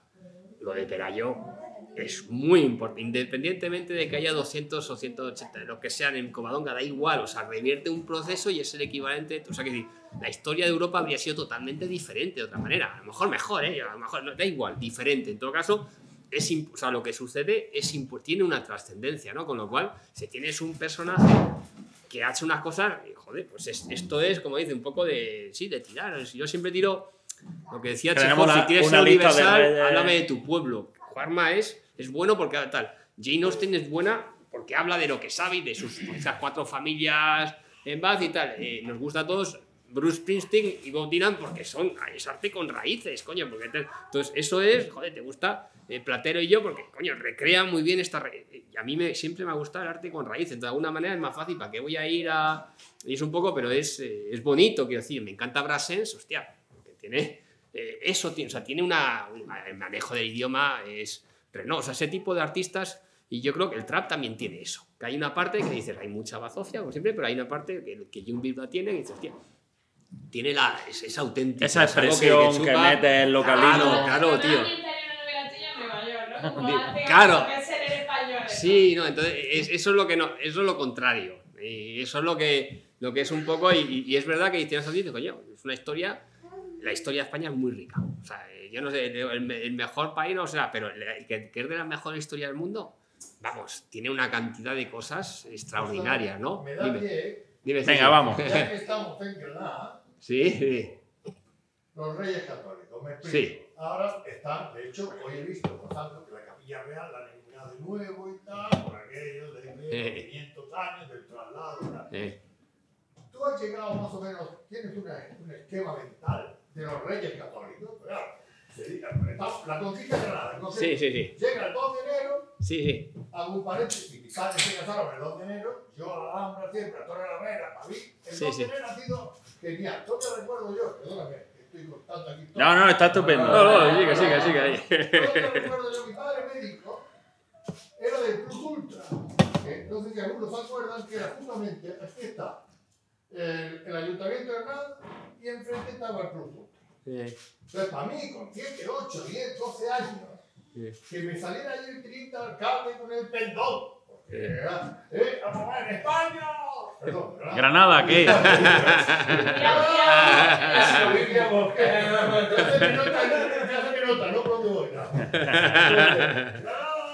contestaba. Por Cristo Reyes aquello de que ¿no? Entonces, claro, ahora el tema es que ojo con el. Sí, Porque estamos otra vez con lo que hemos hablado antes, la colonización, la red, sí. ¿Tú tienes una esquemilla mental de esto? Pues es lo que intento hacerme. Pero me está costando, me está costando. Eh, bueno, pues esto, es que todo es muy complejo. En cuanto al que en cuanto empiezas a ver, pues eso, el mito de las tres culturas, y te das cuenta, vas a Burgos, esto que tenía sus tres culturas y que, y que efectivamente Burgos que es una ciudad cristiana al 100%, ¿eh? o sea que teóricamente nunca eh, hubo arianización, pues sin embargo tenían su barrio mudéjar, y arte mudéjar y su judería, y al final convivían. Eh, el, bueno, otra cosa, pues cuando vas aquí, evidentemente, en un siglo VIII, la parte, las primeras partes de las conquistas suelen ser violentas y tal, y es cuando entran los botines, los no sé qué, arrasan. Entonces, es verdad, dices, todo, todo Imponen maravilloso, claro. Igual que hubo momentos, efectivamente, en los que eh, no era un arabismo tan tal, sino que se perseguían a los, se intentaba imponer conversiones y patatín patatán. Entonces, hay una parte siempre violenta y otra parte dices, joder, y al mismo tiempo traen el ajedrez, la horchata, Aristóteles, la filosofía, y, o sea, una, una serie de cosas que dejan, nos dejan Alhambra, la mezquita y tal, y nos deja un- una riqueza. El lenguaje. Entonces, el lenguaje, pues estamos igual. Es lo de Monty Python, la controversia de Valladolid, y ya está, y al final, bueno, pues han pasado. Han pasado y han dejado una serie de cosas buenas y una serie de cosas malas. Y al final va junto, tío, va junto eh, la sangre con la cultura, lo una- y al final, y eso es riqueza y eso es la vida. Entonces, eh, Hombre, el tema del perdón y todo, yo creo que si todos pedimos perdón, pues de puta madre, todos a una, venga, los, los romanos, los no sé qué, los tal, los árabes que vengan de Damasco. Y cada uno- y cada uno por nuestra también lo vida. digo, y los otros, Napoleón se llevó muchas cosas, tío, digo, joder, un poquito, volaron, claro, Jaén, volaron el castillo, pero es que Burgos también volaron el castillo, eh, pues bueno, pues venga, otra, y nosotros vamos ahí, entonces, pues, pues sí, o sea, es un poco todos, pero eso son las, es que es, una, es un proceso uf, tremendamente. Y entonces la única, la sensación al final llega a un escepticismo. Dice, bueno, pues ahí es lo que hay. hay. Bueno, malo, ni lo uno, ni era tan maravilloso, ni era tan negativo. Y eso, y han dejado, por ejemplo, la diferencia del castellano al italiano es que el italiano es 100% latino. El castellano tenemos un 30% de árabe. Eh, ojalá, alfombra, guadiana, empieza la alhambra, la, ja, ja, la, la, la, el fone- Entonces, claro, nos han dejado cosas, tío, y, y ahí jota, está, la claro. Entonces, y es curioso porque es verdad que la historia de España se ha construido contra, o sea, hemos querido, eh, sí, sí, es contra, todo se, igual que Cataluña se construye contra España, es un poco, eh, la, la historia de España se ha construido contra ese pasado árabe, ¿no? Sí, claro, todo tiene un contra. Entonces, es verdad que hay un rechazo, o sea, la, la, identidad española que como, o sea, a la vista ha sabido, aquí hay más, aquí, pero vamos, normalmente es como, como si no existiera, o sea, era una cosa y efectivamente incluso Sánchez Dado, que me gusta bastante, no man, o sea, decir, a mí me sorprendió que no fuera arabista, o sea, que no, se, que no se esforzaran a aprender árabe, porque casi todo lo que sabemos de historia, las crónicas cristianas son lamentables, son cuatro... Son cuatro no, no, no, no, no, no, no, pero son muy escuetas, o sea, son cuatro datitos y casi todo lo que sabemos de historia es porque vienen por las fuentes árabes, ¿no? Entonces, eh, bueno, es, eh, es, es eso y es, y es verdad que hay, ha habido una voluntad, o sea, todo, pero también es verdad que esa reconquista, esos siete siglos, en la historia medieval española es eso, y ves el, el arranque y dices, bueno, es verdad que tiraban unos metros para abajo y de repente volvían y te destrozaban lo que habías construido y tirabas otro, o sea, es verdad que era un puto coñazo, o sea, estaban para adelante, para atrás, no Bueno, sé qué. Miguelón, venga, Y que tiene una venga, pregunta te por ahí. Te toca, te toca. venga, dale, dale, dale. Venga, venga, venga, venga. Eh, yo tengo que pedir perdón por, haber puesto en la universidad la cuadra de Estrella Roja porque fue la del Barça. No sé cómo se va a poder... Da igual.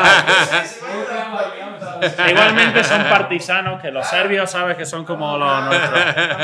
Mierda, Mira cómo ha acabado Puma, mira cómo ha acabado. Le pegó bien, le pegó bien ese día. Hay que agradecer, supongo que águila, ¿no? Eh, antes hablabais del rollo de que los periodistas se meten en el tema de la historia y los historiadores se meten en el tema del periodismo. Sí. Y, y ha hablado, bueno, ha repasado todos unos cuantos periodos y ha hablado de la República. Eh, hablaba de las elecciones municipales y aquella elección no ganó, la opción republicana, realmente ganó la opción monárquica. Bueno, pero, pero en las ciudades sí. Era- Era- no, claro, pero había el no era caciquismo. No. Ya, ya, ya, sí, sí. Fue Sí, sí. suficiente para legitimar el resultado. Mm. ¿Qué hace falta? Ahora que hablamos de que el periodismo se mete en la historia o la historia en el periodismo, ¿qué hace falta en el periodismo y sobre todo en el. En, Los historiadores. país en general para abrir el melón ese, ¿no? Porque primero yo, con, con me dedico al tema un poco y tal, veo que hay un, una mamatoria que diría el máquina, una, una La, me- falta de- la metazo. una, una metáfora, Sí, sí, una- la una de- no sé, un poco de como que hay algo que no se puede tocar. Después de 40 años, de repente se han dado cuenta de que. Del republicanismo, republicanismo, o sea, monarquía. yo creo que estamos a- No digo de hacerlo No, votar, pero si está- está- está como en- como un asunto serio. Sí, bueno, hombre, fue la, fue la brillantez del asunto, fue meter la monarquía en el lote con la decir ¿no? Es decir, venderlo y decir, lo lo que veis. Entonces, claro, esa legitimidad, pues bueno, se puede, tiene, tiene un puntillo. Y es que como soy, al final soy muy afrancesado, ya había eso, entonces yo tengo ese, ese punto republicano y un cierto jacobinismo que es que es como inevitable. O sea, se- te, te va con la. En cuanto aprendes francés, como que te entra, ¿sabes? y si lo aprendes en la cama, pues más todavía, pero bueno. Eh, ha habido como una tentación, se empezaba a hablar de ello. Y, y bueno, se fue muy rápido, pero bueno, es verdad que hay cosas, o sea, el tema Lisa, ahora de repente, joder, no tendría que haber reinado Felipe, tendría que haber sido su hermana, que es la que, o sea, hay una serie de cuestiones que están que están ahí y, se empezaba, bueno, con todo el rollo de Podemos, hablaba mucho, era uno de los, de los temas que estaban ahí, que parece que se ha quedado, ahora nos hemos pasado más al rollo del género, ¿no? Y se ha quedado, pero bueno, estaba, estaba ahí, ¿no? Estaba un poquito ahí, ahí, Hombre, yo creo que en algún momento se, se hará y, y vamos, lo, lo- lo normal es que lo haga el propio Felipe en un momento en que él se sienta a tope. Sí, yo creo que en algún momento será la típica cosa. Vamos, digo yo, no lo sé, pero yo creo que, que- sí, no, no, pasa que se, se- se hará. Digo, di- a mí me parece que sí que, que es un tema, pero bueno, ya sabes, tú empiezas pensando que no vas a ganar y mira el Brexit, o sea que mira, eh, ese tipo, mira el Cameron, ¿no? Que habrá un melón que nadie, nadie espera, o sea, ahí- pero ahí- sí que parece que a mí, a mí sí me, vamos, quiero decir que yo es- pero es una cuestión de, o sea, monarquía y democracia son, son- no, es muy difícil. Mira, los No, ingleses. no, no casan, les va ¿no? O sea, quiero decir, no, la, la esencia, la, la esencia de la democracia es que los grandes, eh, los, vamos, los mayores responsables del Estado, pues son los cargos importantes, son eh, electivos y temporales, ¿no? O sea, tan sencillo como eso. Entonces, el jefe de Estado tendría que ser un cargo electivo y temporal. Yo creo que es, es como, entonces, no hay manera de, no hay manera de casar una cosa Yo- con la otra. yo- Ahora, luego tienes el rollo, es verdad que cuando ves eh, pues al final el, el espíritu republicano en la tabla rasa, por decirlo así, el espíritu, el espíritu revolucionario eh, francés, siempre ha sido eso, y luego tienes los ingleses que son, pues dejémoslo, y dejamos a la, a la reina, y dejamos a la cama, y, y lo vas acumulando, y tampoco es tan malo, o sea, esa sensación de decir al final, es una lógica que al principio se te hace un poco extraña y luego, bueno, es porque, o sea, no, no, es, tan, no es tan tonto, o sea, es decir, dice, bueno, cada cosa van acumulando y es una, y es una, y es otra, es otra lógica, que tampoco es, es, bueno, es sensata, o sea, Yo, es un- yo le hice esta pregunta ya porque en el libro de Barenbach le dije, mira, tocas mucho la política, pero curiosamente el tema de... Y él me dijo, no, es que la monarquía para una... eh, Juan Carlos, ¿no? Para una generación como que estaba muy bien visto y tal igual. Es verdad que no en ese tema no fue un tema muy político de cierta generación de los 60 y demás. Hombre, Pero yo recogiendo un poco el testigo, a lo mejor, a lo mejor que vislumbro que, que venimos hablando mucho de este España guerra civilista, ¿verdad? Que nos gusta el Barça o el Madrid, porque no nos engañemos, España del Barça o del Madrid, de no sé qué grupo, o de no sé qué grupo, de no sé qué escritor, y eso nos encanta, nos encanta la polémica y que salga en el otro. Y yo, tú sabes que yo, una de mis eh, pasiones es la tercera vía, ¿no? Siempre pensar en esa tercera vía. Yo, es verdad. y decir, hostia, tenemos derecho a una tercera vía. Pero quizás el difícil, sea difícil de eso, decir eso, porque se dicen, bueno, jefe de Estado, y se habla de Zapatero. Ya sabes que tiene a media España en contra. Entonces creo que, que es muy difícil. Que es que en España eh, vivimos. Bueno, pero también no os de- un cargo político en el jefe de Estado. Lo mismo todavía no, no se ha descubierto el republicanismo, no sé. la- Sí, Estados Unidos son sí. presidencialistas, Europa es semipresidencialista. Sí, luego se. Estados hubo, ha habido Bueno, todo el pro- sí. El Ha habido profesor y Jorge, que no ha preguntado nada, que. Pero vamos, hubo dos momentos, ¿eh? Hubo- y los dos momentos que da, es decir, no, la, la, la, la primera Dime. esto, porque como yo soy de la vieja guardia, el tema es unidad. O sea, cuando tú te planteas monarquía y república, en el fondo, a, yo, a Sánchez lo veis de presidente del Estado, perdón, de jefe del Estado, elegido, Pero si no es Ah, hombre. quiere decir, si va por España y le está en silla a todo el mundo. O sea, yo a lo único que voy es, objetivamente, Juan Carlos, ahora voy a decir otra cosa, perdonadme, personal, es que como soy, vuelvo mucho a mí. Yo nací en la Costa Gómez 34. Es decir, enfrente, estoy en la Costa Granada, Frente de la 93. enfrente, no, no, enfrente de Marqués de Salamanca, a lo que voy. Sí, sí, sí. La primera vez que vino Juan Carlos, el innombrable, que está por ahí con dinero, pues fue. trajo la monarquía a España. Perdón, la monarquía demás, todo lo que. Bueno, que- a lo que voy. Se lleva el dinero, va con los moros. Y yo lo vi allí y estaba toda Granada pendiente de ese tío. Y yo estaba aquí, Vuelvo a lo emotivo. Vuelvo a lo. A lo, a lo- pues claro, entre lo racional y lo emotivo, y este señor sabe mucho, tal, me ha dicho antes, como de pasada, que yo iba contra Nietzsche. Era El tema acordaba. no me acordaba, lo primero que decía, dice. Nietzsche está loco, se volvió loco lo primero que decía. Se volvió el que yo- El que recuerdo, me sabía toda la fecha, tal y cual, los últimos 11 años de su vida, ¿eh? Los podéis, los periodistas, el Filmarín estaba loco perdido, estaba loco perdido. daba besos a los caballos y Ah, tal. bueno. Sí. Ah, me, he. Pero lo que iba es, efectivamente, ese señor sabe que yo era muy de anteojeras. Porque yo en aquel entonces tenía una formación aristotélico-tomista. Para mí es la verdad. Hoy alguien he leído, ¿no? Que claro, Nietzsche negaba la verdad. Todo es interpretación. Sí, pero menos. Y en el fondo, la interpretación te sale más de las vísceras, del corazón, de, la, de esto, de la cabeza. La cabeza, y además estamos aquí en el tema de educación, nos la han ido formateando, que me ha gustado mucho esta palabra que ha dicho este señor, durante toda nuestra vida. Entonces tenemos formateado la cabeza de un modo, pero vamos a ver. Yo veo ahora mismo al rey Juan Carlos y veo a las niñas y a la mujer, veo a todo el mundo, Sofía, mi, mujer por ejemplo, a la reina Sofía, y eso toca las vísceras, eso une, eso es España. Yo veo a Zapatero, oh, perdón, a Sánchez, y a mí esto no me une, lo voten, que no lo van a votar. Bueno, re- re- recogiendo el hilo. Claro, Eh, privilegios, privilegios, pero espérate. Me lo han- Jorge, ¿Tiene, ¿tiene alguna pregunta? ¿Tiene alguna...? formado desde pequeñito, ¿Tiene alguna preguntilla? mamando educación en serio, en serio. Serio. Sí, pues, Eh, Juan Carlos. porque Irene Montero, la otra, la otra, ¿qué hace? Pero bueno, que no tiene que ser un cargo político. ¿no? Hombre, Juan Carlos es un gran propagador Bueno, aquí somos medio ácratas en esto. Jorge, venga, anímate con una preguntilla. Perdón, perdón. No, no, está muy bien, está muy bien. bien. Y estamos... Bueno, nos gusta Juan Carlos, es un gran propagador del republicanismo. Controvertible.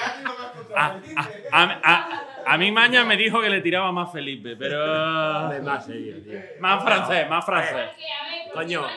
No, porque, a ver, no, porque. A ver, Juan Carlos tiene esa cosita de que le ha pegado un tiro a su hermano en la cabeza, tío, y. como que, que, que eso me parece que no, no es de persona equilibrada. O sea, Bueno, ¿alguna no, pregunta más o cerramos esto? No, que- que me ha hecho gracia porque has comentado que al final siempre en España pues nos dividimos por bandos, ¿no? Y justamente ha sido interesante como el debate. Sí, sí, sí, sí. Eh, Bueno, yo, yo voy a cogerlo no por los No, bandos, Jorge, sino... Jorge, Jorge, venga, venga. así que... No, yo, yo- pero yo voy por otro lado. Ya. Nada, sigue, pregunta de la vacuna, o sea, de- eh, yo no sé si tienes pensado, hablando, como has mencionado todo el tema de, de Mel Gibson y, y todo eso, si verdaderamente eh, tienes pensado esto como si lo pudieran adaptar. Lo digo porque me, llama, me ha llamado mucho la atención cómo dividen los capítulos. Sí. Es decir, porque hay veces que hasta lo- termina un capítulo en mitad de una conversación que, que continúa en el siguiente capítulo. Sí, sí, sí, Son sí, sí, sí. capitulillos cortos. Sí, sí, sí. No Sí, sé- sí, eh, hombre, me encantaría, que te voy a decir yo, tío. Yo creo, ha dicho Enrique una cosa, y es verdad que eh, Pelayo, no sé, estaba deshilachado. O sea, no había, y es verdad que yo le he dado una consistencia, o sea, vinculándolo a, metiéndolo en la batalla de Guadalete y presenciando toda una serie de cosas que de de repente, para mí, hay... hay Hasta la imagen es un Sí. cuadro que es desconocido, ¿no? De Sí, repente sí, vemos sí, eh, cuál ahí. es la imagen. En- creo que en, en Gijón hay una escultura Sí, y sí, tal, sí, ¿no? sí. Pero No, no, hay, hay, hay una. En fin, creo que he añadido una serie de cosas que, que permiten, que pudieran permitir. Yo personalmente, si fuera guionista, me parece que a partir de aquí me da unas bases. Yo entendería. Pero Pero no vamos. te va a influir por la serie y por todo este fenómeno de adaptación de No, bueno, yo, bueno, ¿o yo no? estoy, estoy metido en mis series. En mis series. Lo que pasa es que no salen, estoy hasta los huevos. tío. Estoy, estoy Bueno, trabajando lo mucho. digo- Pero vamos. digo al hilo de que me da la impresión de que lo cortas cuando de repente Sí. un personaje dice una cosa que. Sí, dices que, o sea, sí, que hubiera un rollo, sí, sí, una, una lógica de, de- de los cliffhangers, ¿vale? Sí, Eh, lo digo porque además es que podrías perfectamente quitar a veces la Sí. introducción del capítulo. Es, es lo que me ha Sí, en, en- en algunos casos me gusta, me gusta hacerlo y, y- y, bueno, sí hay elementos de la narrativa cinematográfica pues que, que- que tengo integrados, ¿no? Pero, mm, pero bueno, que nunca, o sea, no deja de ser, o sea, no es, no es, habría que, eso no se traslada así, o sea, tienes que hacer un esfuerzo de otra, de otra, de otra índole, pero bueno, sí que hay una cosa, el cine, hay gente que me dice, no, es que tú eres muy visual, es que no, digo, no sé, o el Cron era muy Pero eso, visual, eso está, no eso nada. toda la literatura contemporánea. toda la literatura, es lo que iba a decir. O sea, que al final dice la visualidad, joder. Eh, Tolstoy, Steve Dumas eran tremendamente visuales. Eran Hasta la, tremendamente hasta la visuales. fonética e imagen. Previo y era mucho antes. El Lazarillo es tremendamente visual. Mucho antes del cine. O sea, la visualidad no es una cosa cinematográfica. Porque ya ¿no? estaban las artes Sí, también, plásticas y demás, que Y también ahora, eran las que. Pero hay dos cosas que yo siempre digo eh, que, que- que el cine ha enseñado: es el, la elipsis, o sea, el, el- el- el- el Sí. quitar cosas de transiciones, cosas innecesarias. Joder, esto ya lo he entendido. ¿Vale? Eso es muy, lo hemos aprendido con el cine. Que la novela decimonónica te contaba ocho veces las mismas cosas. Dices, tía, ya, déjame, tío, si ya lo he entendido, no soy gilipollas. Eso es mucho lo hemos aprendido con el cine, ¿no? Y, y, lo, y, lo- Y moldear a los sí, personajes sí, también. lo- La síntesis es lo mismo, o sea, es el, el concentrar al, al- al máximo, ¿no? Entonces, sí, sí, o sea, quiero decir, hay, hay cosas, o sea, hay, hay elementos eh, de la escritura cinematográfica que yo, yo tengo in- integrados, ¿no? Por ejemplo, eh, antes no, eh, bueno, toda la estructura dramática, tres actos, no sé qué, ahora sí lo aplico. O sea, hay una serie de, de- de- de conceptos que al principio no los aplicaba, eh, que los he ido interiorizando mucho y, y que ahora sí los aplico, ¿no? Entonces, hay cosas que sí, sí entran, pero hay cosas, por ejemplo, te digo, esto no se podría, tal cual no se puede. O sea, tienes que hacer un esfuerzo, escribir guiones. Esto es como montar motos y montar coches. Se parece, pero son dos cosas diferentes, ¿no? Y, y- y es, eh, es nada.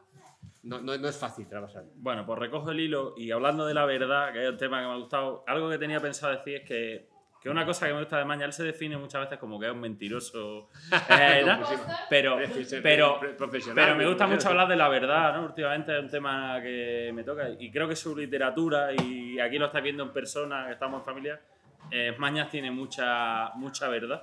Eh, hablando ahora de que escribe muy rápido, hay una frase de Ray Bradbury que dice como... Joder, sí, sí. el- el- la rapidez es, la verdad, ¿no? Escribe rápido, eso es la verdad. Sí, tal. porque no lo, no lo, es verdad que lo controlas menos. Si empiezas a pensarlo demasiado. Entonces yo quiero hasta que lo hayáis pasado bien, que mañana es un crack. Y yo lo único que le pediría es, tengo aquí todos estos libros, si quieres leernos ya algo, por cerrar, algo, algo de algún libro, de Pelayo, ¿no? Que si quieres el que...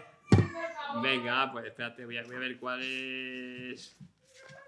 Bueno, venga, ya que estamos con Pelayo, pero creo que sería el arranque, ¿vale? Esto es una cosa que no es es, es una voz. Una voz, porque cuando dices, ¿por qué pones? Y la, parte es una, una voz que te tiene que interesar desde el principio, ¿no? Entonces dice, bueno, en el nombre de nuestro Señor Jesucristo y de su Madre, la Inmaculada Virgen María, me apresto a comenzar la crónica de los hechos sucedidos en este rincón de la cristiandad entre el aciago año 711, cuando se perdió España, y el 722, cuando mi hermano Pelayo, coronado rey de los godos, ganó la batalla que permitió iniciar la reconquista del territorio cedido al Islam. Encerrada en este convento de por vida y sin que nadie sospeche que aún respiro yo, Adosinda, que a punto estuve de ser la primera soberana de estas tierras, me propongo dar testimonio del oscuro periodo transcurrido entre el hundimiento del reino de nuestros ancestros y la instauración del Emirato de Córdoba, que según escribo estas líneas se fortalece en el sur. El Señor me ha concedido en esta miserable celda de montaña iluminar con la vacilante luz de mi entendimiento los trascendentes hechos que tuve ocasión de presenciar, y también aquellos que me fueron contados o sobre los cuales he leído más tarde las crónicas de mis contemporáneos. Todos sabios varones, sí, pero ninguno con mi conocimiento profundo de las tribulaciones de Pelayo. Vale. Y luego dice, bueno, para comprar, sí. ahí, ahí, ahí lo que veis es, de repente dice, "Jo, una chica empieza, dice, aquí estoy, y estoy encerrada, y estoy tal, y os voy a contar, dice una cosa, dice, no conoce, y realmente yo sé quién es este. Se dice, todos habéis oído hablar de Pelayo, pero yo que lo he conocido, estoy conocido. Entonces vas generando esa... Y peleas una- entre hermanos, la entre guerra hermanos. ¿no? Y vas...